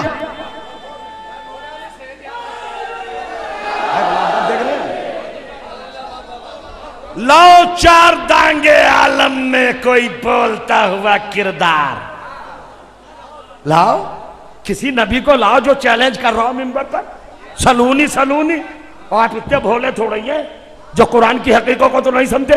یہ تو علماء نے آپ کو بھولا بنا دیا۔ اگر آپ کو میٹر دے اور مضبوط باتیں پڑھے، تو آپ بہت جلدی سمجھ جائیں گے۔ باریک سے باریک بات سمجھیں گے۔ تو جو چاہ رہا ہوں۔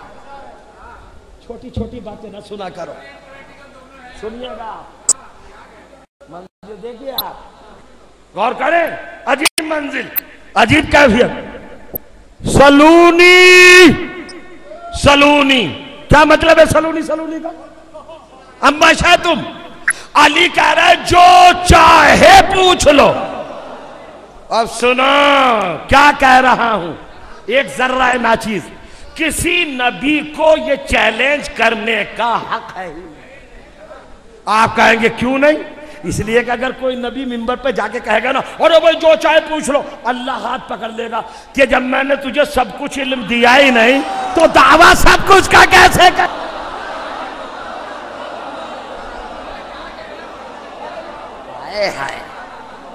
یہ ہے۔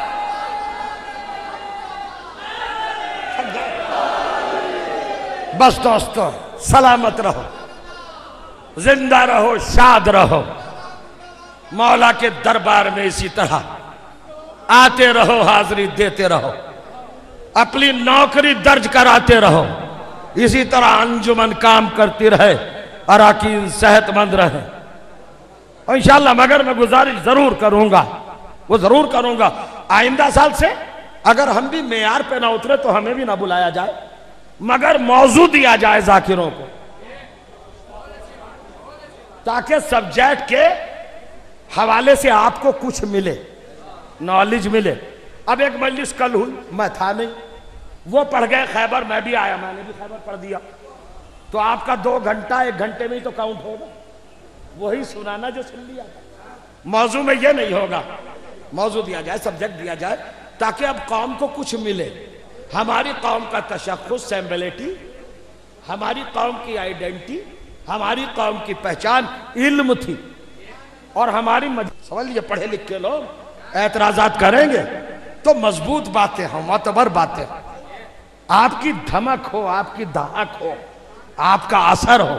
رہبر کون ہوگا؟ اس شان کا کے ممبر پہ بیٹھے۔ اور گئے، سلونی سلونی۔ جو چاہے پوچھو۔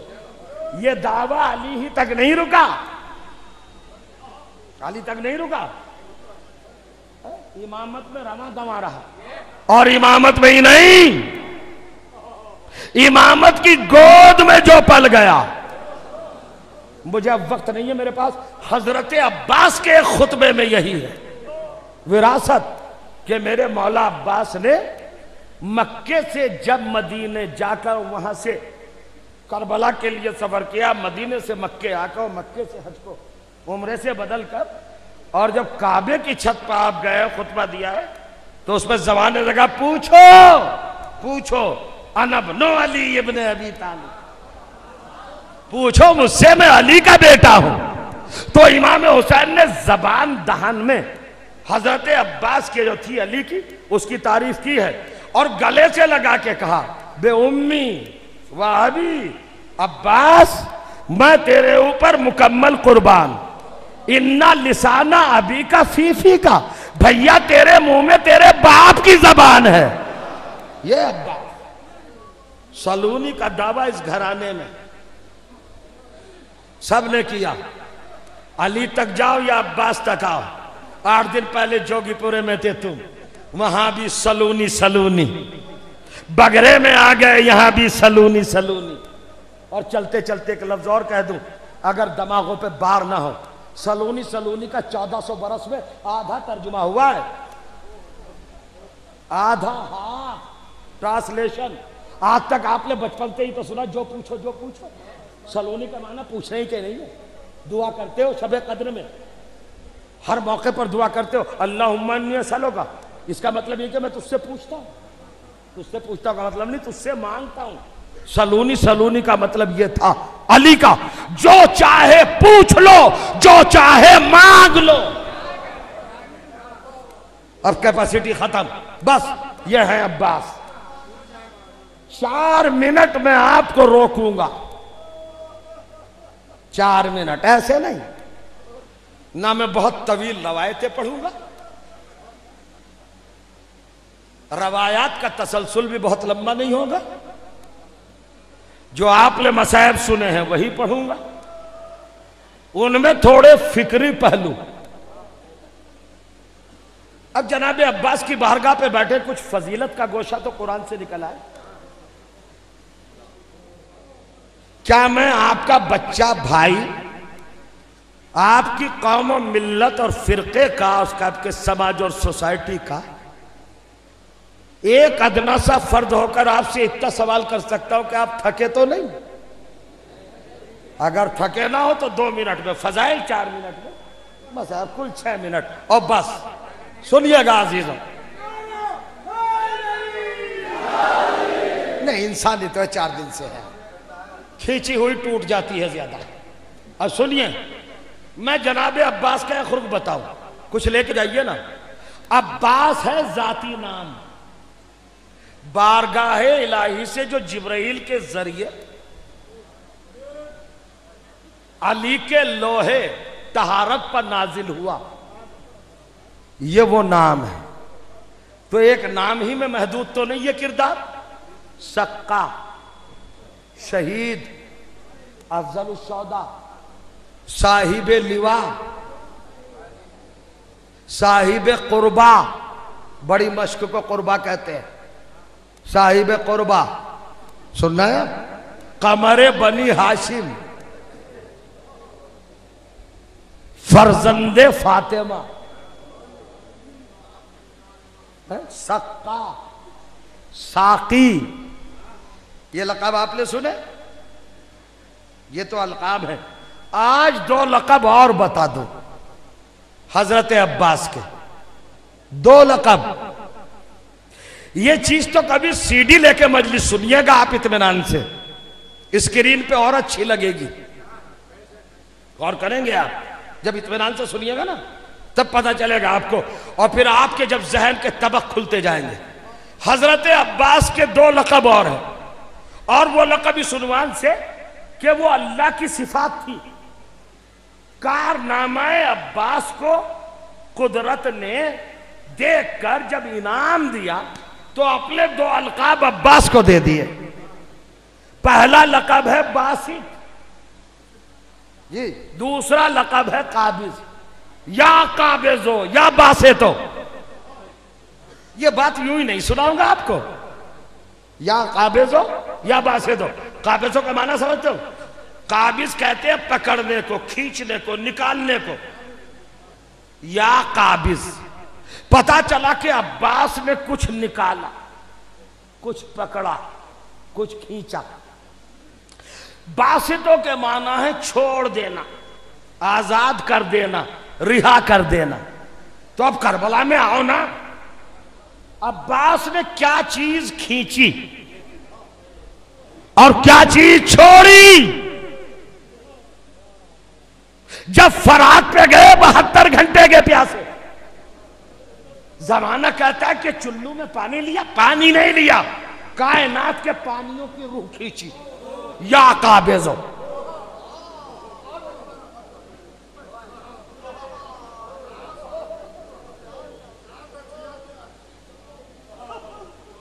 عباس۔ مولا عباس کی بارگاہ میں ہوں۔ مسائب بھی سارے آیات قرآنی سے پڑھ سکتا ہوں۔ مگر نزاکت وقت مجھے اجازت نہیں دے رہے۔ یا قابضو! یا قابضو کا مطلب روح فرات اور کائنات کے سارے پانیوں کی روح اس وقت کربلا میں تھی۔ کارنامہ حسینی دیکھنے کے لیے۔ عباس نے اٹھا لیا۔ کائنات کا پانی تڑپنے لگا۔ عباس بابا کا صدقہ دے دے۔ بھتیجی کا صدقہ دے دے۔ ہائے عباس۔ فوراً لیا اور فوراً دریا پہ پھینک دیا۔ پہلے مرحلے میں قابض تھا، دوسرے مرحلے میں باسط روح کو کھینچا اور روح کو چھوڑا۔ یہیں تک تھوڑا ہی لایا ہوں، یوں ہی نہیں۔ اب پڑھنا چاہ رہا ہوں۔ ایک آیت لے کے جانا تعویز گلو بنا کر۔ کیا ہے پانی؟ مزہ سمجھائے؟ سورہ انبیاء اکیسواں سورہ۔ بتیسوی آیت۔ ارشاد و بسم اللہ الرحمن الرحیم۔ وَجَعَلَنَا مِنَ الْمَائِ كُلَّ شَائِنْ حَيٍّ ہم نے ہر چیز کو پانی سے زندہ رکھا۔ کچھ سن رہے ہو؟ کائنات کی ہر چیز۔ اب بھی سنو گے فضیلت عباس کی۔ اسی طرح۔ ارے، کیا ہو جاتے پتہ نہیں اس وقت۔ کیا عالم ہوتا۔ سورج پانی سے زندہ، چاند پانی سے زندہ، زمین پانی سے زندہ، آسمان پانی سے زندہ، ہر چیز زندہ پانی سے، انبیاء پانی سے زندہ۔ تو اب ایک جملہ کہوں، جو ساری کائنات کو زندگی دے، اسے پانی کہتے ہیں۔ جو پانی کو زندگی دے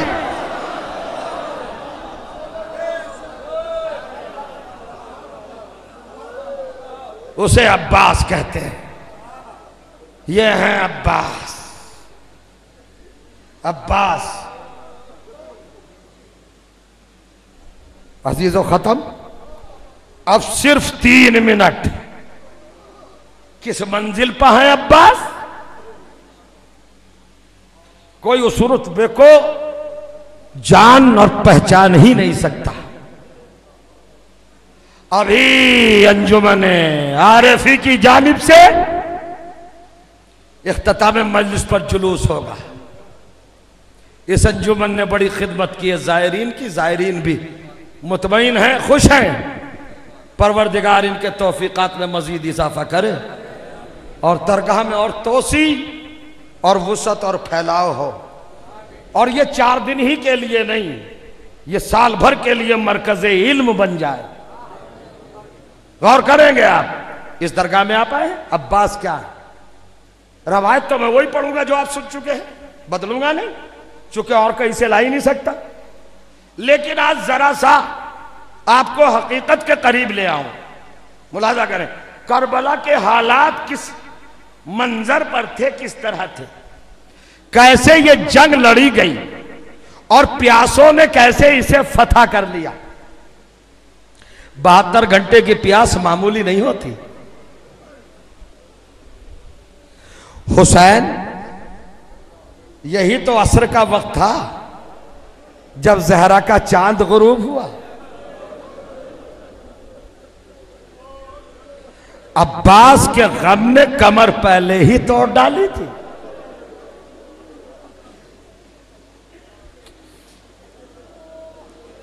جناب معصومہ کی بارگاہ میں میں ملتمس ہوں متوسل ہوں۔ شہزادی میری زبان کو طاقت دے دیں۔ میں آپ کے چہیتے بیٹے عباس۔ اور ان کی عظمت کے قریب اپنے ان اپنے محترم سامعین کو لا سکوں۔ ابھی زلجنہ بھی برآمد ہوگا۔ آشور کی ملس کہلاتی ہے۔ حسین جب گھوڑے سے گرے ہیں تو دو منظر ہیں۔ جب بھی کوئی شہید گرتا تھا تو کبھی حسین ناصروں کے ہمراہ، کبھی تنہا، اس کا لاشا اٹھا لاتے تھے۔ کسی بھی لاشے کو اٹھاتے وقت حسین پر وہ غم تاری نہیں ہوا جو علی اکبر کے لاشا اٹھاتے وقت۔ ستاون برس کی ضعیفی نے جب اٹھارہ برس کی جوانی کا لاشا اٹھایا۔ تو حسین کمر پکڑ کر جلتی ہوئی ریت پر بیٹھ گئے۔ مگر یہ مرحلہ بھی طے کر لیا حسین نے۔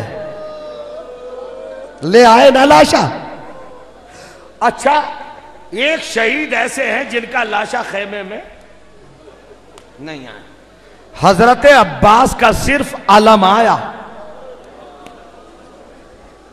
اگلے سال انشاءاللہ پڑھوں گا۔ اس سال نہیں۔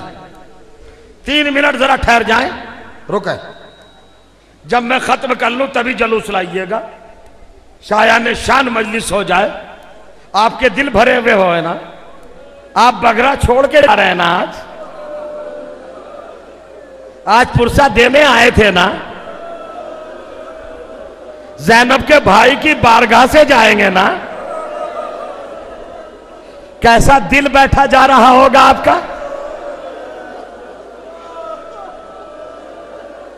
وہ زوات مقدسات جن کو آپ نے تہارت آرزو کی بنیاد پر مہمان بنایا تھا، آج وہ زہرا بھی چلی جائیں گی۔ رونے کی طرح روئیے گا۔ سیدھی سادی روایت پڑھوں گا۔ نفسیات میں آپ کے اتروں گا۔ تو میں یہ کہہ رہا تھا کہ زخموں سے چور حسین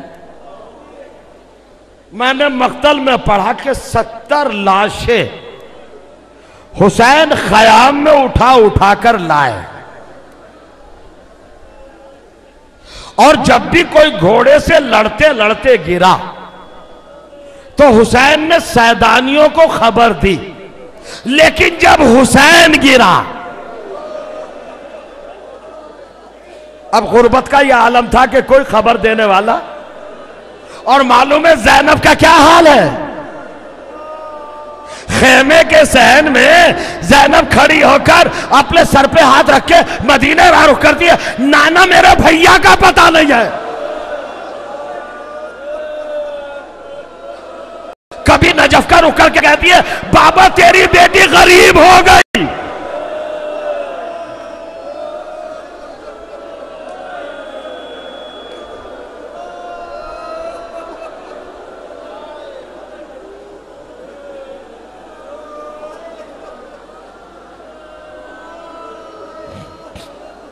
ادرکم الحسین اختتام پذیر ہو رہی ہے مجلس ختم دعا ماتم. آپ رخصت ہوں. آنسوؤں کے سائے میں زمانت زہرا میں. میں تو اب کچھ کہہ بھی نہیں سکتا. سب کچھ ہی تو کہا جا چکا ہے. کوئی بتانے والا نہیں کہ حسین کہاں ہے؟ ستائیس لاکھ کا لشکر. لشکر کی دیوار خیام اور حسین کے درمیان حائل۔ کون بتائے حسین کہاں خیمے کے باہر سکینہ کھڑی ہے باپ کے انتظار میں۔ دو سوار گزرے تو آپس میں جا رہے تھے لوبے پنجتر پاک کا خاتمہ ہو گیا۔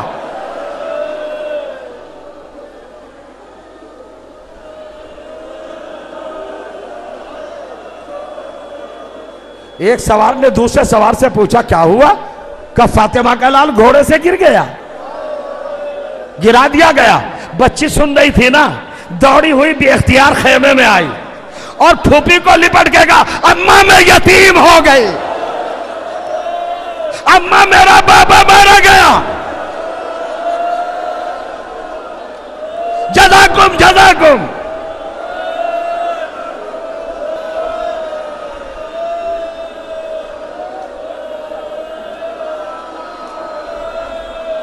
روتے ہوئے جائیں، روتے ہوئے۔ ایک تو صرف دعویٰ ہوتا ہے کہ روتے ہوئے جائیں گے۔ مجھے یقین ہے روتے ہوئے اٹھے۔ کہ سکینہ بیٹی، تمہیں کیسے معلوم؟ مختل دور ہے، لشکر درمیان ہے۔ مصیبتوں کے پہاڑ ہیں۔ ہماری غربت آڑے ہے۔ ارے میری بچی، تجھے کیسے پتا؟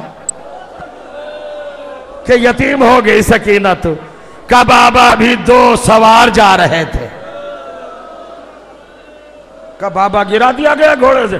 کہا، مگر آپ بھی اممہ میرے بابا کو یہ مسلمان مار کیوں رہے کا بیٹی،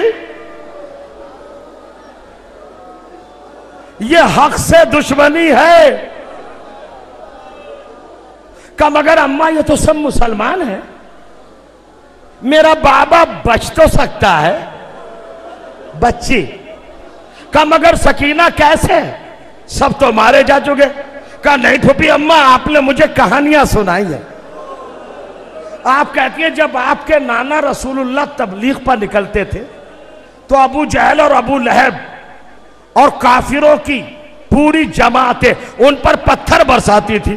لیکن اماں، آپ ہی نے تو بتایا تھا کہ جب آپ کی والدہ باہر آ جاتی تھی بہت کم سنی میں، تو ابو جہل اور ابو لہب یہ کہہ کے چھوڑ دیتے تھے، ارے اب محمد کو چھوڑ دو، محمد کی بیٹی آ گئی۔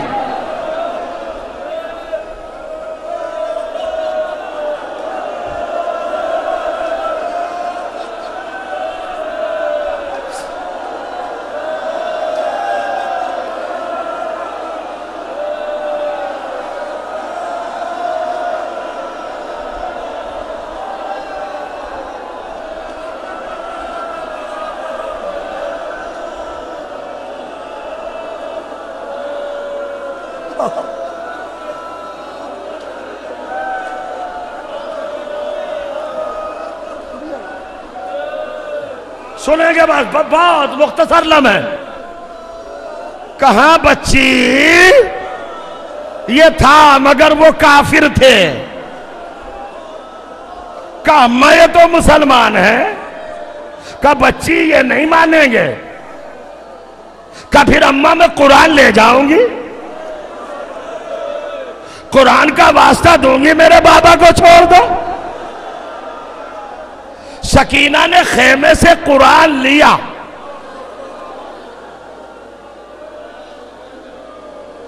دو فکرے ہیں۔ آئیں۔ اور جب قریب شمر کے آئیں تو عجیب منظر تھا۔ شمر نے دربار یزید میں بیان دیا ہے، وہ پڑھ رہا ہوں کہ جب میں حسین کو ذبح کر رہا تھا اور میں نے گلے پر نہیں، پسے گردن پر جب اپنا کند خنجر، سترہ مرتبہ۔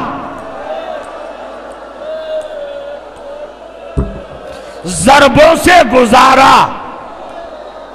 تو پہلی ضرب پہ حسین نے کہا، الحمدللہ۔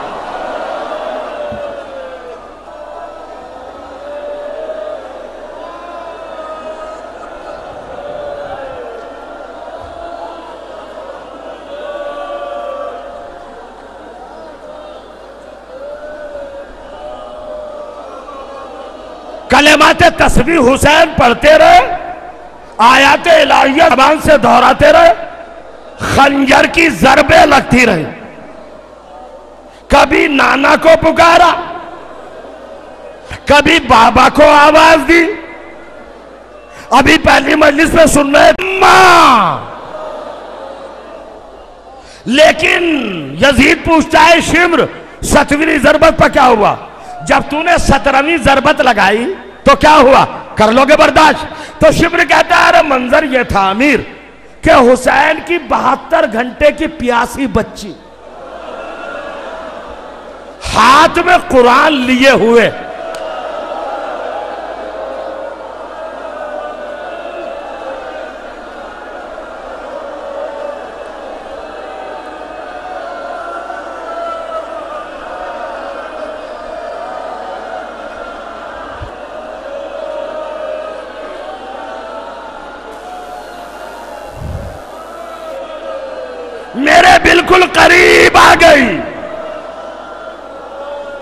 شمر تجھے اس قرآن کا واسطہ۔ کہتے ہے مگر میری شکاوت قلبی، میرا ظلم اتنا بڑھ گیا تھا کہ میں نے سکینہ کی بات کو مانا نہیں، مگر اس بچی نے ایک جملہ کہا، شمر کیا تو صاحب اولاد نہیں ہے؟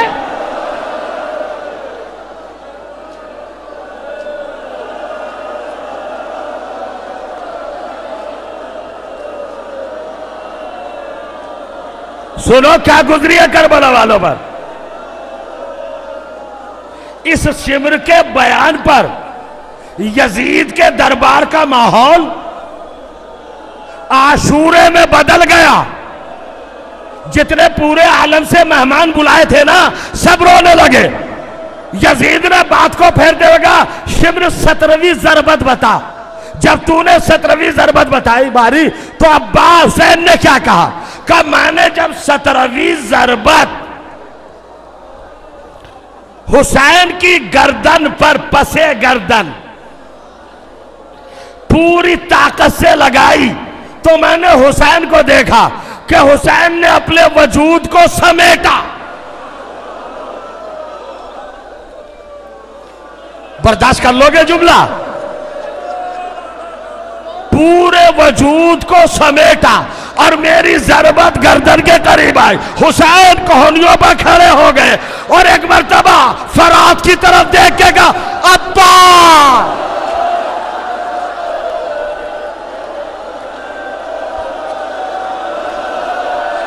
ha!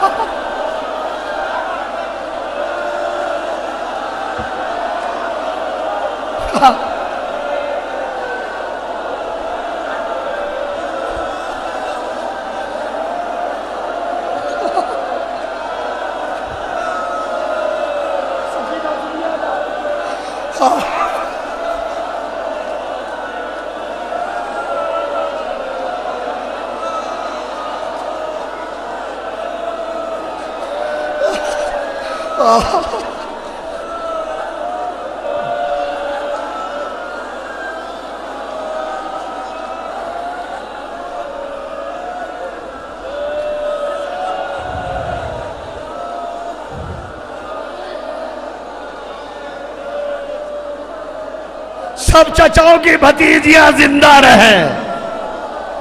سب بیٹیوں کے باپ سلامت رہے۔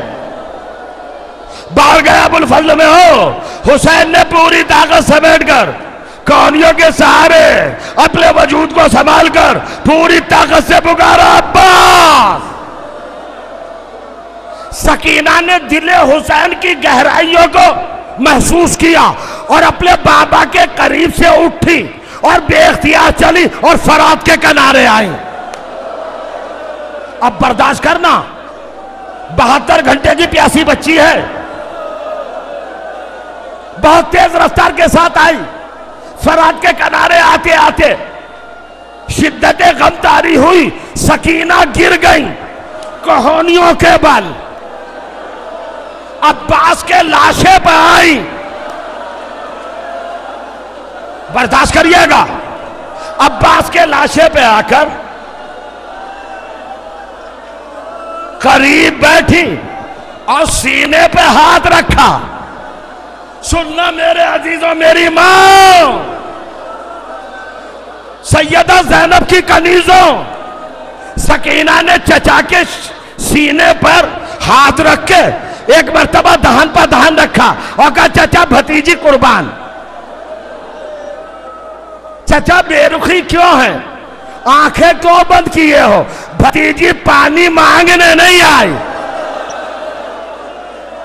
چچا شرماؤ نہیں، آنکھیں کھولو۔ میرا بابا مارا جا رہا ہے۔ اللہ دربندی لکھتے ہیں، جیسے سکینہ نے کہا، نشیر سے زہرہ کی آواز آئی۔ ارے سکینہ، عباس دس روز کا جاگا ہوا ہے۔ میں اپنی آغوش میں لیے ہوں۔ سکینہ خیمے میں نہ پہنچی تھی۔ ادھر زلجنہ نے اپنی پیشانی کو خون سے رنگا۔ خیام میں آیا۔ اے سکینہ۔ ارے تیرے چچا کے بعد